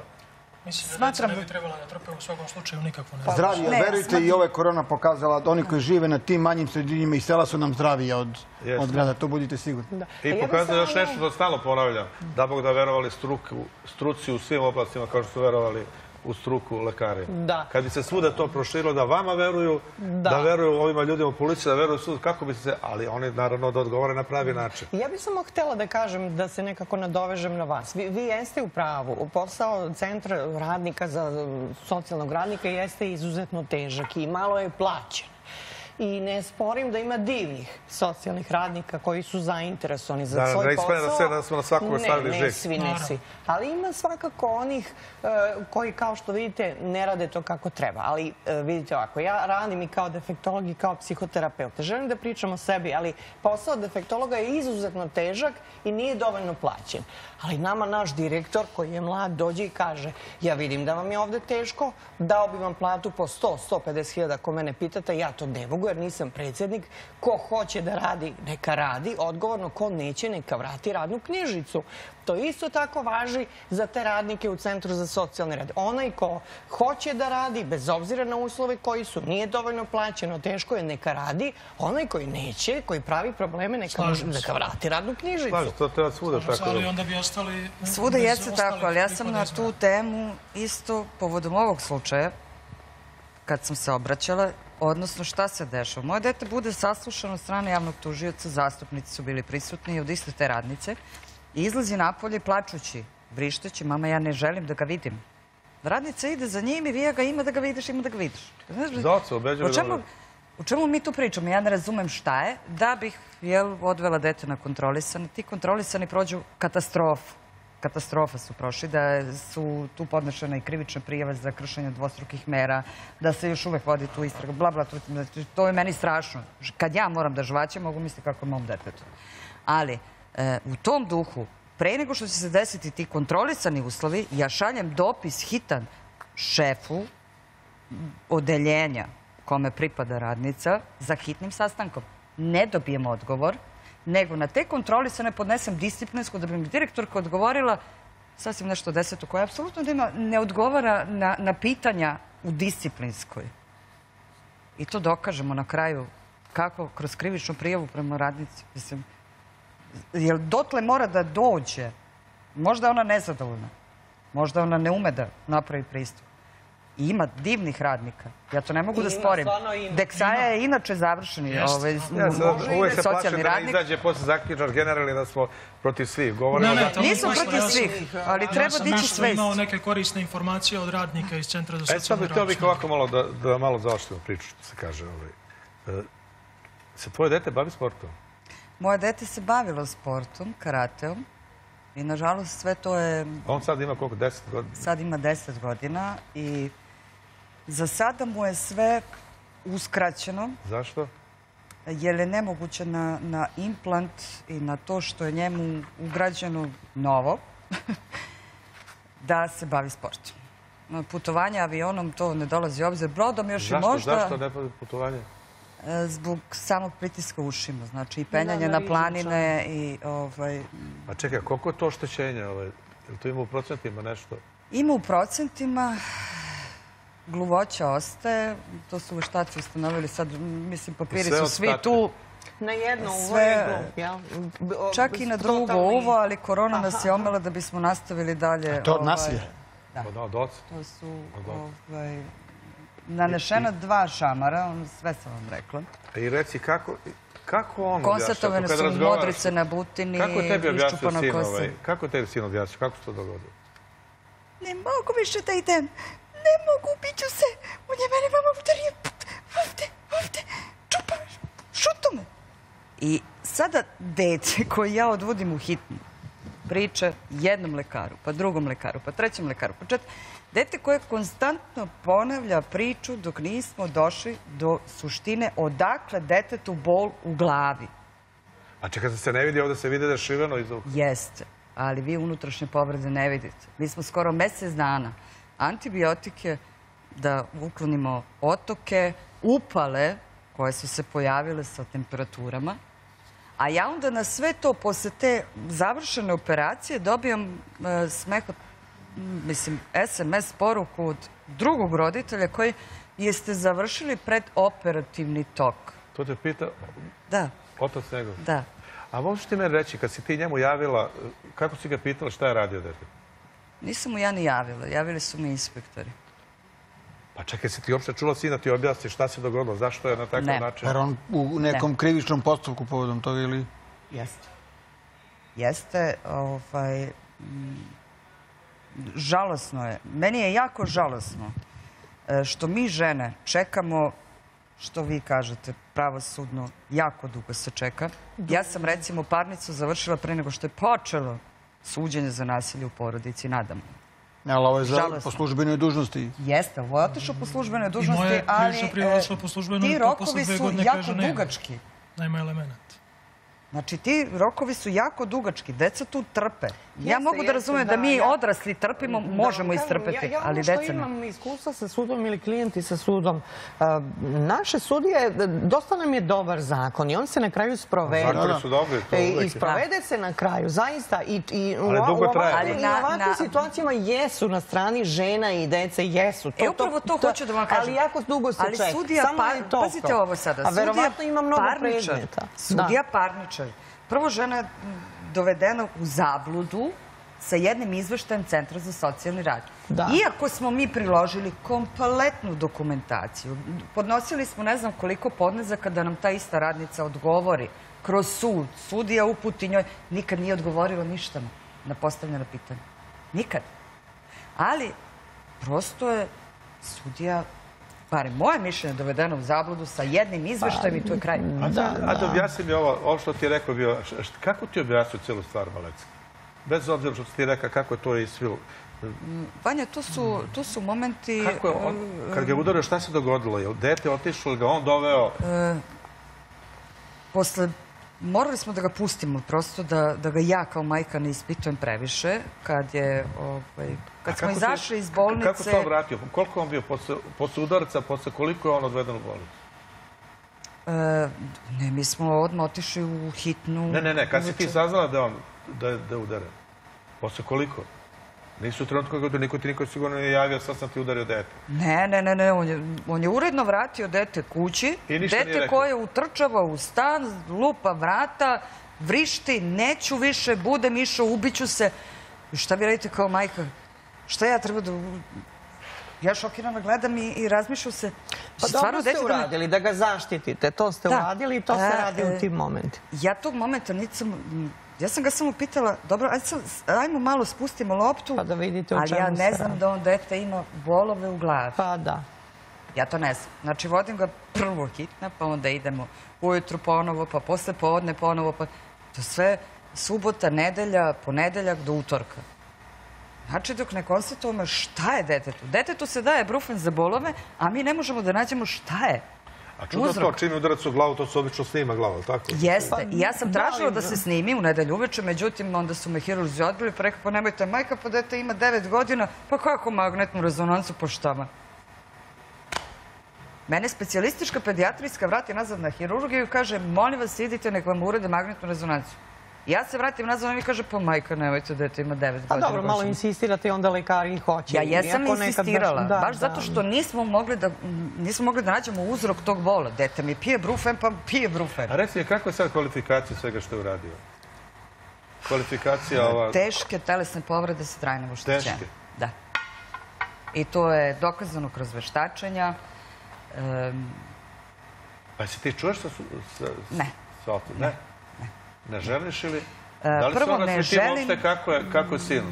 Prvo ne želim, on je svoju odbranu neku izneo u, u tom parničnom. Čitala sam Pa ja i taj kaže? zapisnik. Pa šta kažu? Kaže da dete laže.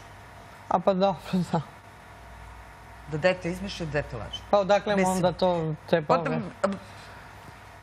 A da li je on te zvao uopšte ovo da se raspita kako je malo, pošto mali? E, ne, e, nije. On je u prvi mah, kad smo mi otišli, pre nego što ćemo otići u bolnicu, on je slao tu neke poruke kao mm, nešto kao kad istekne ovih 30 dana dolazim po dete, 30 dana zabrave policijske hitne mere. E, mada se on žalio, ali tu su već više sudije odbile tu žalbu, jer je visok rizik po žrtvu nasilja. To su i inspektori konstatovali. Znači, bez daljega. Ali on je bio nešto uporan, znači, pošto poto da se približi. Međutim, kad smo mi ušli u bolnicu, ja vama ne mogu da opišem strah mog deteta koji kaže ovako, mama, mi smo u bolnici, on može ovdje dođe kad god dođe. Ja kažem, sine, ne može. I onda ja, e, profesora doktora Dankuca, koji je divan, ja se ovom prilikom njemu e, zaista zahvaljujem koliko je on posvetio vremena mom detetu koje je bilo istraumirano i onda traumu koju sam ja doživjela prvi put kad se operisao, kad su došli po mene da me odvedu u operacijonu salu, da smirim dete, jer je on dete kidao zavoj. On ima toliki adrenalin. Zamislite dete koje se probudi iz narkoze totalne, kida sebi zavoje. Da ja ne mogu da mu zadržim ruke. I vrišti i plače i kaže, vidi mama šta mi je napravio. Pa kako ne, kada vas povredi neko kome vi neprikosnoveno verujete. A prvo muško dete, koliko nedostaje otac, još kad je takav. jeste i sa ocem se muška deca već u tom periodu identifikuju i to je značajna figura, izuzetno ako postupa pravilno, ali kao što vidite, eh, to je visoka trauma za dete jer onaj kome ti veruješ i sa kojim se identifikuješ, na koga želiš da ličiš, Da on te, on te povređuje. I inače ovi odnosi, to važi za decu, a važi i za ljude koji ostaju u tim toksičnim odnosima. Vi ste izašli, možda niste imali snage odmah, ali ste ipak skupili što je velika stvar. E, oni su, Vanja, e, podjednako rizičan faktor za, znaš koje sve bolesti? Pošto ste stalno izraženi, e, izloženi strahu, besu, stre- Stresu. stresnim emocijama, to vam je konstantan, ne konstantan, ali povremeno vrlo jak adrenalin, noradrenalin, kortizol, koji narušava u tim momentima, organizam ima prioritete i narušava se imunni sistem. Ne- narušava se, nego je prioritet da se odbranite od nečega s polja i ne misli se u tom momentu imunitet, imunni sistem pada. Ali znate da kancer e, jednostavno je nešto što je povezano osim sa genetikom i drugim faktorima pušenja, da sad ne nabrajam, povezan je i sa imunitetom. Nama trebaju naše imune ćelije da unište kancerogene ćelije u nama. Dakle, izlažete se riziku od nastanka kancera. E, isto vam je e, te stresne emocije u toksičnim odnosima, kao što su, rekla sam, bes, strah, tuga, posle depresija, podjednako važan rizičan faktor kao i pušenje, kao alkohol, kao kada ste gojazni za nastanak infarkta, e, srčanih bolesti. Mnogi su pacijenti istraživani nakon, recimo, infarkta pa su preživeli. Obično, nije obično, ali vrlo često su preživljavali e, e, dugotrajne loše porodične odnose, svađe sa partnerima, ovakve sudske procese. To je sve izuzetan stres, a to je već počelo kod njega kao kod malog deteta. Nemojte Da. da, mislite da nije tome Pa ja ću vam evo moju situaciju. Znači, on je prolazio to što je prolazio. Ja sam morala da budem koliko toliko prisebna. Ali ja već više nisam bila prisebna. Da su meni u jednom momentu zastupnici rekli, Vesna, stigo je izveštaj u sud e, iz centra da majka e, je prekinula svaku saradnju sa Centrom za socijalni rad.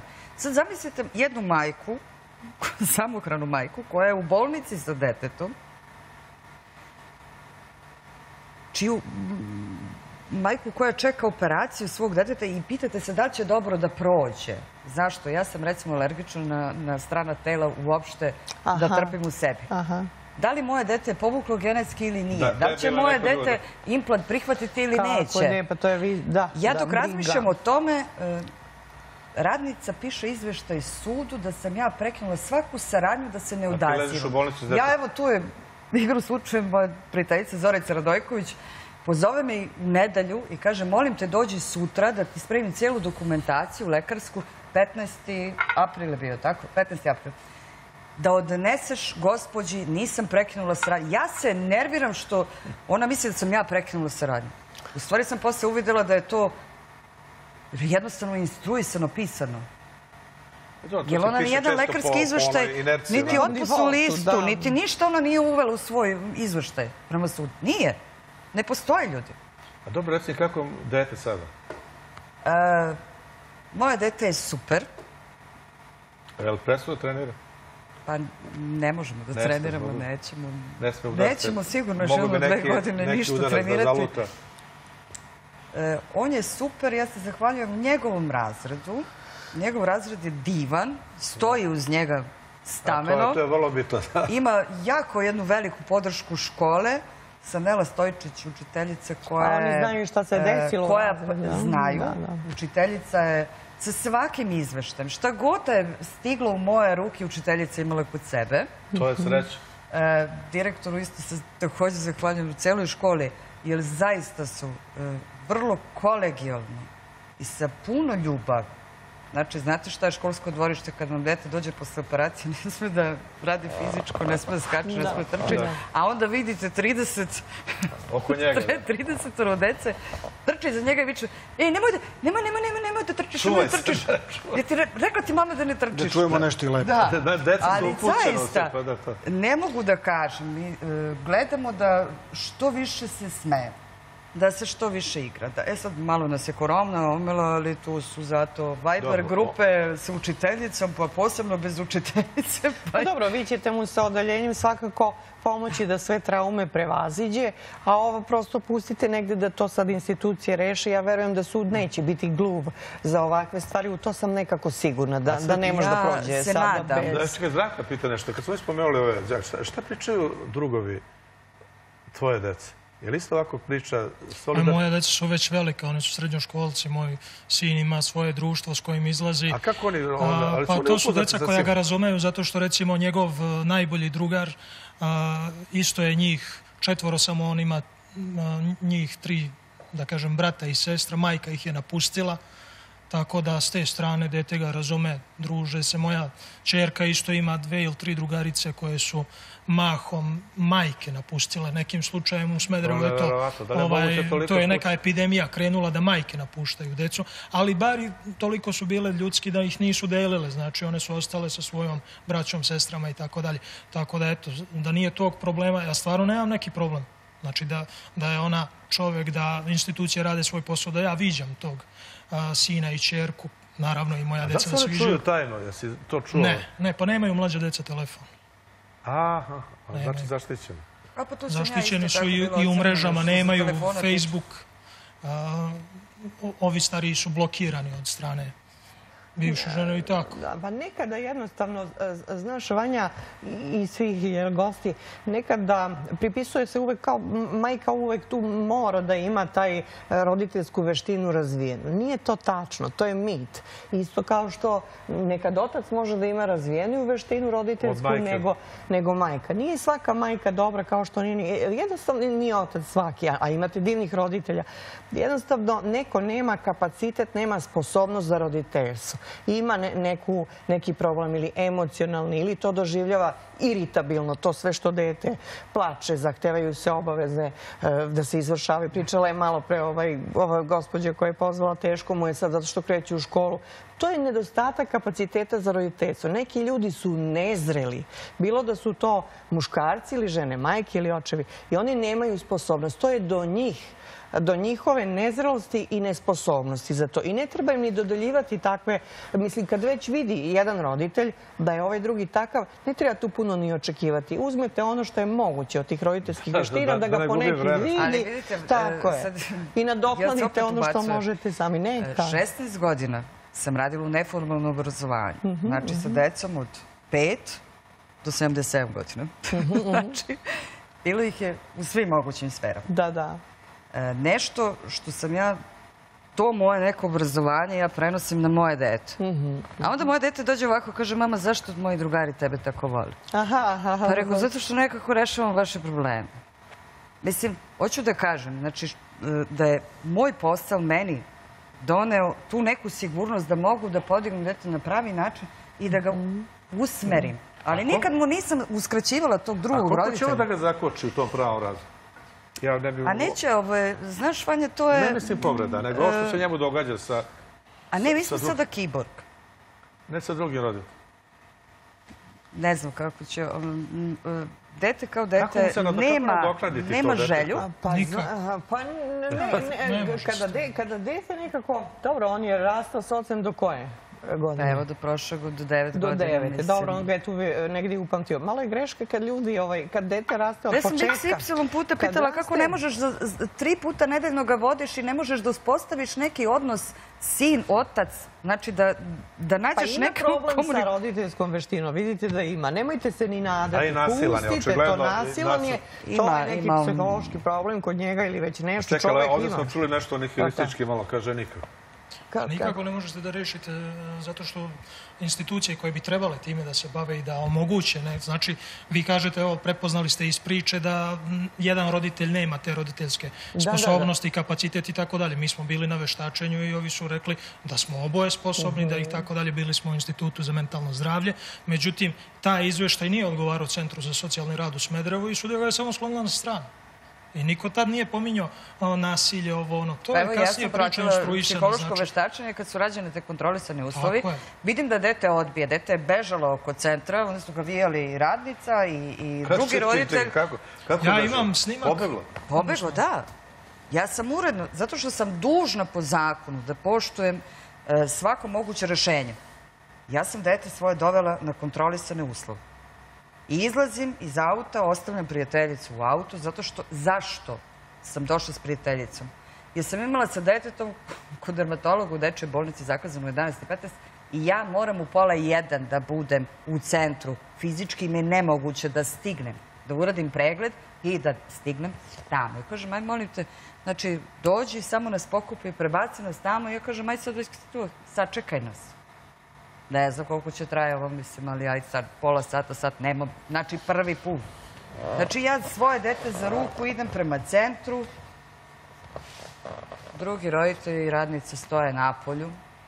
Moje dete diglo glavu, kako ga je vidio, tog momenta, samo ovako, istrgo mi se iz ruku, ja sam se ovako okrenuo, pogledao, on se samo zaletao, on je počeo da plače. On se skupio u autu između zadnjih sedišta i, i, i prednjeg. On je čučao, on je plakao, on je vrišto, neću i ne želim da ga vidim, ne mogu da ga vidim. Tato. Pa kako posle ovoga da, da hoće da ga vidi i da želi da ga vidi? Sad slušajte ovu situaciju, znači ja koja Ne moram da, se prijavim. Ne, ne bi bilo ni normalno da on tati Da trči u... Ali ja moram, ja moram da ispoštujem, nakon- ali pazite, nakon ja moram da ispoštujem zakonsku proceduru, ja moram da uđem u taj centar, Dobro, moram da im odnesem ličnu kartu, evo i vi znate. Tako je, sve se Znači ja ulazim unutra, ja bih išla sad svom detetu koje plače i naravno, uđem unutra i kažem, ja sam dovela dete na kontrolisan uslove, dete pobeglo nazad u auto. Vi ste Ja se ispoštovali ok- svoje. Ja se okrećem da bi meni gospođa radnica rekla vi ćete majka da ostanete tu, a vi tata pođite sa mnom.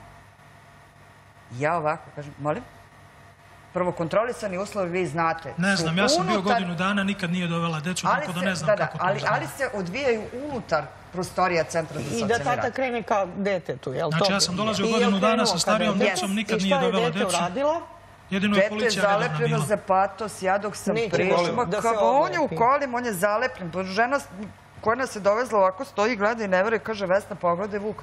Moje dete em, crveni, plavi, je nakon hvata se... Dete, post, post operacije. Da, I posle jesu ga izvukli iz auta? Nisu ga izvukli iz auta, ali moje dete počinje da dobija drugu boju kože. Pa naravno. I meni moja prijateljica kaže, Vesna, pogledaj dete. Ja pogledam dete i kažem, sad je dosta. Znači, ja sedam u auto i samo sam se okrenula, rekla sam, neka vozi ste. u dečju bolnicu odmah, sad. Znate šta, prirodna reakcija nakon ovoga je e, neprirodna reakcija nakon ovakvih povreda od strane, da kažem, osobe od poverenja je da ga grlite i ništa nije bilo. A pazite, ti najgore. uslovi, ti kontrolisani Prirodna uslovi su ukinuti i ponovo donešeni ove godine. Pa dobro, neće će možda moći da se sprovedu. Prirodna je reakcija da se plašite, da strepite, da se traumatizujete, da se sećate. To je kod deteta koje ne može to sve dovoljno ni da obradi. Njegova reakcija je prirodna i nemojte vi uopšte se pitate. Mi smo Vi ste uradili psihološko veštačenje koje Da. opet nije uvaženo, nego je meni naloženo kao samohranoj majci. E, dobijam nalog, to mi advokata sam štavili, 156.000 dinara treba da platim veštačenje za Aha. nas troje. Ja kažem, ja se izvinjavam, ja kažem mojim advokatima, ja se izvinjavam, od čega ja to da platim? Da, to je da. O čemu se ovde radi? Pa znaš, kaže, tvoja je tužba za ukidanje roditeljstva i te zabrane prilaska, zabrane prilaska imate, a kaže, ako ne platiš, kaže, pretiti se odbacivanjem tužbe. Ja kažem, molim, psihološko veštačenje već postoji, baš zbog tih prvih kontrolisanih uslova koji su donošene kao rešenje. I to se ne uvažava. Znaš šta, ovdje samo se vas dvoje razumete potpuno. Ja ne Ma, mogu da e, to je Ja- nešto- Ja, ja sve vreme Banja, ali razmišljam, mora- Zvezdane, mora- ne možete- mora razmišljam da sve, ja ne verujem vidim da ni Zvezda da- tu- Ne, Ne, ja Teško kažem, hvata. e, e, najteže shvatam. e, Radi se o e, dva ekstremna slučaja. Ja vas potpuno razumem i kivnost i... Ja i- nisam i- kivna. Zvezdane, pa se, Ne, nisam e, kivna. i, e, Ja samo je kivnost tražim- kod njega e, kad se spominju institucije i sve. E, ima mnogo grešaka i treba mnogo toga da se menja. Ali e, očigledno su i zatrpani slučajima. S- Sad vam se rekao koliko ima trenutno roditelja sa ukinutim Pa stavima. oko 100.000 očeva ne 100.000. viđe svoju decu. Ne viđe svoju decu, Koliko znači... ima e, prijava e, žena, sam čuo sad malo da se sklonimo i da se nasmijemo. E, Stvarno je bio slučaj gdje je žena prijavila muža za zlostavljanje zato što je uskratio cifru za kupovinu u, Pa gradu. ima tih Događaj- I onda, Ima zloupotreba, međutim ima I ozbiljnih onda- zloupotreba koje se ne provjeravaju. Jer pazite, ako I onda kad je tužilac- došao, Milicioner koji je prijavio, onda je ukapirao kojoj se ženi radi i kako to radi. I onda je to da naprišlo, ništa, evo sad ćemo da ga uhapsimo i da ga privedemo na 30 dana. A onda je ona skočila, pa zašto? Ja sam htjela samo da ga malo zaplašim. Pa Jeste, ali to je krivično, Pa znači... Ne, ali samo da vam kažem, sad 30 do kog nivoa uh, postoji i zloupotreba sa svih strana uh, te priče oko zlostavljanja. Tako da ne možete da uhvatiti ni one slučaje kao što su vaši. A uvek ima, nažalost, i nesavesnih ljudi koji rade. Nažalost. Ali Imamo i nivo korupcije koji postoji. Samo korupcija, ja ne, ništa drugo Recite Ali verujte, ja sam ubeđen da ima mnogo više slučajeva koji su rešeni. Ne kažem da nema, ja samo pričam o 100.000 očeva koji nisu rešeni. Ja ne znam koliko je u Srbiji ja ljudi razvedeno. Pa da kažemo u 300.000 mom očeva, Nišu i- 100.000 i u ima problem. za socijalni rad u Nišu nema ovakvih ekstremnih slučajeva, to vam garantujem. Ja vam za Evo Smederevo garantujem, prebacit ću vam snimke ako želite. Ali pazite sad ovu digresiju. Znači, on je osuđen za nasilje u porodici Nadam. Kao što ja Osuđen nisam. je za još dva krivična dela. Znači, još, još ima krivičnih dela. I sada se dešava nasilje nad detetom maloletnim i ne, dobi, ne dobija pritvor. Pa, š- Ali osuđen na, na šta je osuđen ako se... nameće se Nije sam odgovor, osuđen. ja ne znam šta da vam A kažem. nije osuđen ili Nije je još? A ja sad, nad razumela. detetom nije. Nije Nadamnom jeste. Nadamnom jeste pravosnažno. Pa Ja on je u krivičnom postupku, a dodeljeno je da, da uz Upravo prisustvo to. gledanika. Znači, inspektori ja kao inspektori... Bez krivičnog dela imao zabranu prilaska. Godinu dana sam trebao da viđam decu u centru tu na Novom Beogradu i nikad nije dovela decu. Dolazio je izvršitelj, konstatovao da ona ne dovodi decu i nikom ništa. A Momir Karašić, sudija izvršitelj, sad je sudija Višeg suda, odbacila mi je, znači, posle tri godine odbacila je postupanje po pravosnožnoj presudi, imala je jedno zakazano ročište za tri godine. Ja više ne znam šta bi rekao gospođi Rašić. Zašto nije došla? Jel- Ja ga još nisam dobio u maju prošle godine. Ne, ne, kažeš za godinu dana kad ne dođe svaki put. Jer ona mora da svaki put da javi zašto.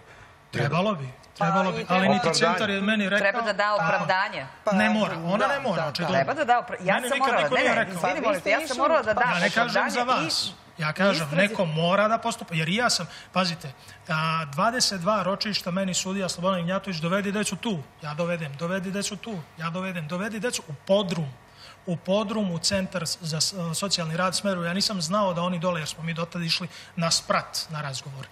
I ovaj, dovedem decu, deca neće da se rastanu, on konstatuje ovako, deca odbijaju, Mihajlo i Milica, odbijaju da se odvoje od brata i sestre, odbijaju da se odbi, o- o- odvoje od oca.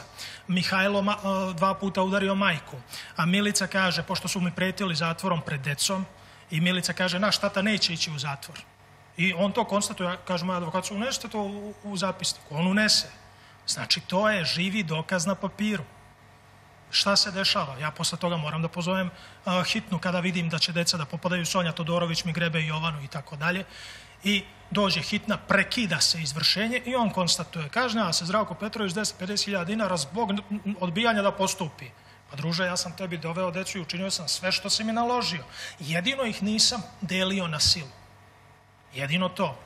Jer ja smatram da po zakonu nisam ni dužan. Rekao sam, gospođa majka je tu, neka ih ona podeli. I 22 takva ročišta, da li možete da zamislite? I sad neko treba da mi priča, pa znate, njihov je posao ovakav, onakav, to su za mene kriminalci. Nema opravdanja, da. I škole su ih odneli. Kao, evo, ja Ne, ovom prilikom apelujem na Jasminu Branković, direktorku škole, koja ima snimak, jer meni učitelji kažu da oni gledaju snimak i da plaču kako su deca 21. februara odneta iz škole. Znači, nije došla majka da ih uhvati za ruke i da ih odvede, jer ja sam bio na poslu. Ona je mogla u školu da dođe kad god hoće i ona je dolazila tamo, viđala ih kad je htela pod pričom da ne sme da dođe kući, da ovo, da ono. Znači, niko njoj nije ništa branio ali je došla sa radnicima centra i policijom i odnela decu iz škole. I postoji snimak, postoje svedoci. Ali kome da ih prezentuje? Ja samo da poručim izvinjam se, ovaj, došao sam polako do, ovaj, do kraja emisije. Moram da kažem, opet, ovaj, ja uvek volim da čujem drugu stranu. Ja Ovo je, se dakle, nadam da ćete pozvati Jelenu i ovo je, Jovana dakle- Ratkovića bi voleo stvarno ovo je, da vidim dakle, ovdje da mi ovo je objasne dakle neke stvari. tvoja priča, ovaj, Aj sad mi zvezdane, kako šta bi ti zaključio da moraš da napišeš, da napišeš tekst sutra od ovoga? Ne, ja, sve ti- ja kažem, e, moram da ti zahvalim što si me e, pozvao u ovu emisiju, jer mnogo više znam sada, kad, nakon ovih dva sata. više U- znaš u- šta Uvek još mi tako kažu, svi koji desi. dođu, koji nisu iz ove Ne, ne, materije. e, pamtit ću ja ovu emisiju, mnogo duže nego što ti misliš. Pa verujem, verujem ti. I nije isto gledati na televiziji i sediti ovde sa ljudima i... I gledati u oči nekoga i, pratiti njegovu patnju. To je sigurno. Ne Ja znam da pate i ovi drugi. Nije, nije to ovaj, sporno, ali neko... Ne, ja pokušavam da gledam i drugu stranu i da budem, i, i da budem realan. I ne, hvala ti. Stvarno ti hvala zato što e, drugačiji ću ja biti posle ovoga, ne A, samo... to mi je jako bitno da kad bi mnogi ovaj koji se bave politikom rekli bit ću drugačiji posle svakog slučaja koji se dogodi. Ja znam da nemaju ljudi, nemaju, nemaju ljudi eh, ni vremena, ovaj, nije samo vreme bitno naravno, nekad je, ali očigledno zaokupirani su nekim stvarima, ovo su neke, neke stvari u kojima pati onaj čovek o kojem mnogi ne vode računa. To ti ona... sad, Suština je e, u tome da moramo ja- svi da budemo bolji ljudi. Pa to je, zato ti kažem... Da, Suština Ti je od, da ja lošeg, sebe- ti od lošeg čoveka ne možeš ni zakonom, ni... ni ne se- ne možeš može da napraviš. Ali možeš da pobegneš od njega. To je jedino. A kako kažu kad si... Loši ljudi su... Ovo se prenesi na drugo, ovo se odnosi na budale. Kaže, sa budalom duže nego što treba, niko ne vidi razliku. Dakle, treba na vreme pobeći od onoga. Nemojte pogrešno da shvatite, Ali, su četvoro dece, petoro dece pate. Na isti način pate i ona deca, iako to neće pokazati koje su kod majke. Majka će ih vjerojatno ili naučiti, ili- naučiti da kažu e, nešto drugo, ali ovaj, evo, po- polako zaista prilazimo Ali kraju. ja ću vam opet reći da ste vi srećan čovek. Jer vi, Ja imate, vi imate starateljstvo na dvoje dece. Mnogi očevi Ovo je žele bilo vam rekao, ja to da znam. Pa šta mislite šta me održava u ovoj da, borbi? Da, da, da. Tako da ste ipak u svemu e, vrlo srećan čovek. Dobro. Evo, pošto, pošto je gosti, hvala vam veliko zaista što ste bili u emisiji, posebno tebi Zvezdane. Dan kad sam ti rekao šta je tema, ti si rekao kako ću ja tu da ispravim, isto si odlično. I vidim ti Došao počiva, na- na- vidim ti počiva da, da, Došao, sam na dva sata edukacije. Dobro, dobro. Evo, poštovani gledalci, ovo su prijatelji emisije. Dakle, He- Herba Fast i, i Medela. Ovo je Herba Fast Avangarda, tako se to zove. Ja mogu samo se zahvaliti još jednom vama, poštovani gledalci, sutra dan u isto vreme emisija, 15 časova 30 minuta, Jovana Grgurović vodi. Biće opet interesantna tema. Ja znam da volite da gledate ovu emisiju posle ručka. Nekad vas nasmejemo, nekad rastužimo. Ova će emisija vjerojatno naterati da malo više razmišljate o onome što se događa kod nas, možda i u kući do vašeg stana, a vi za to ne znate.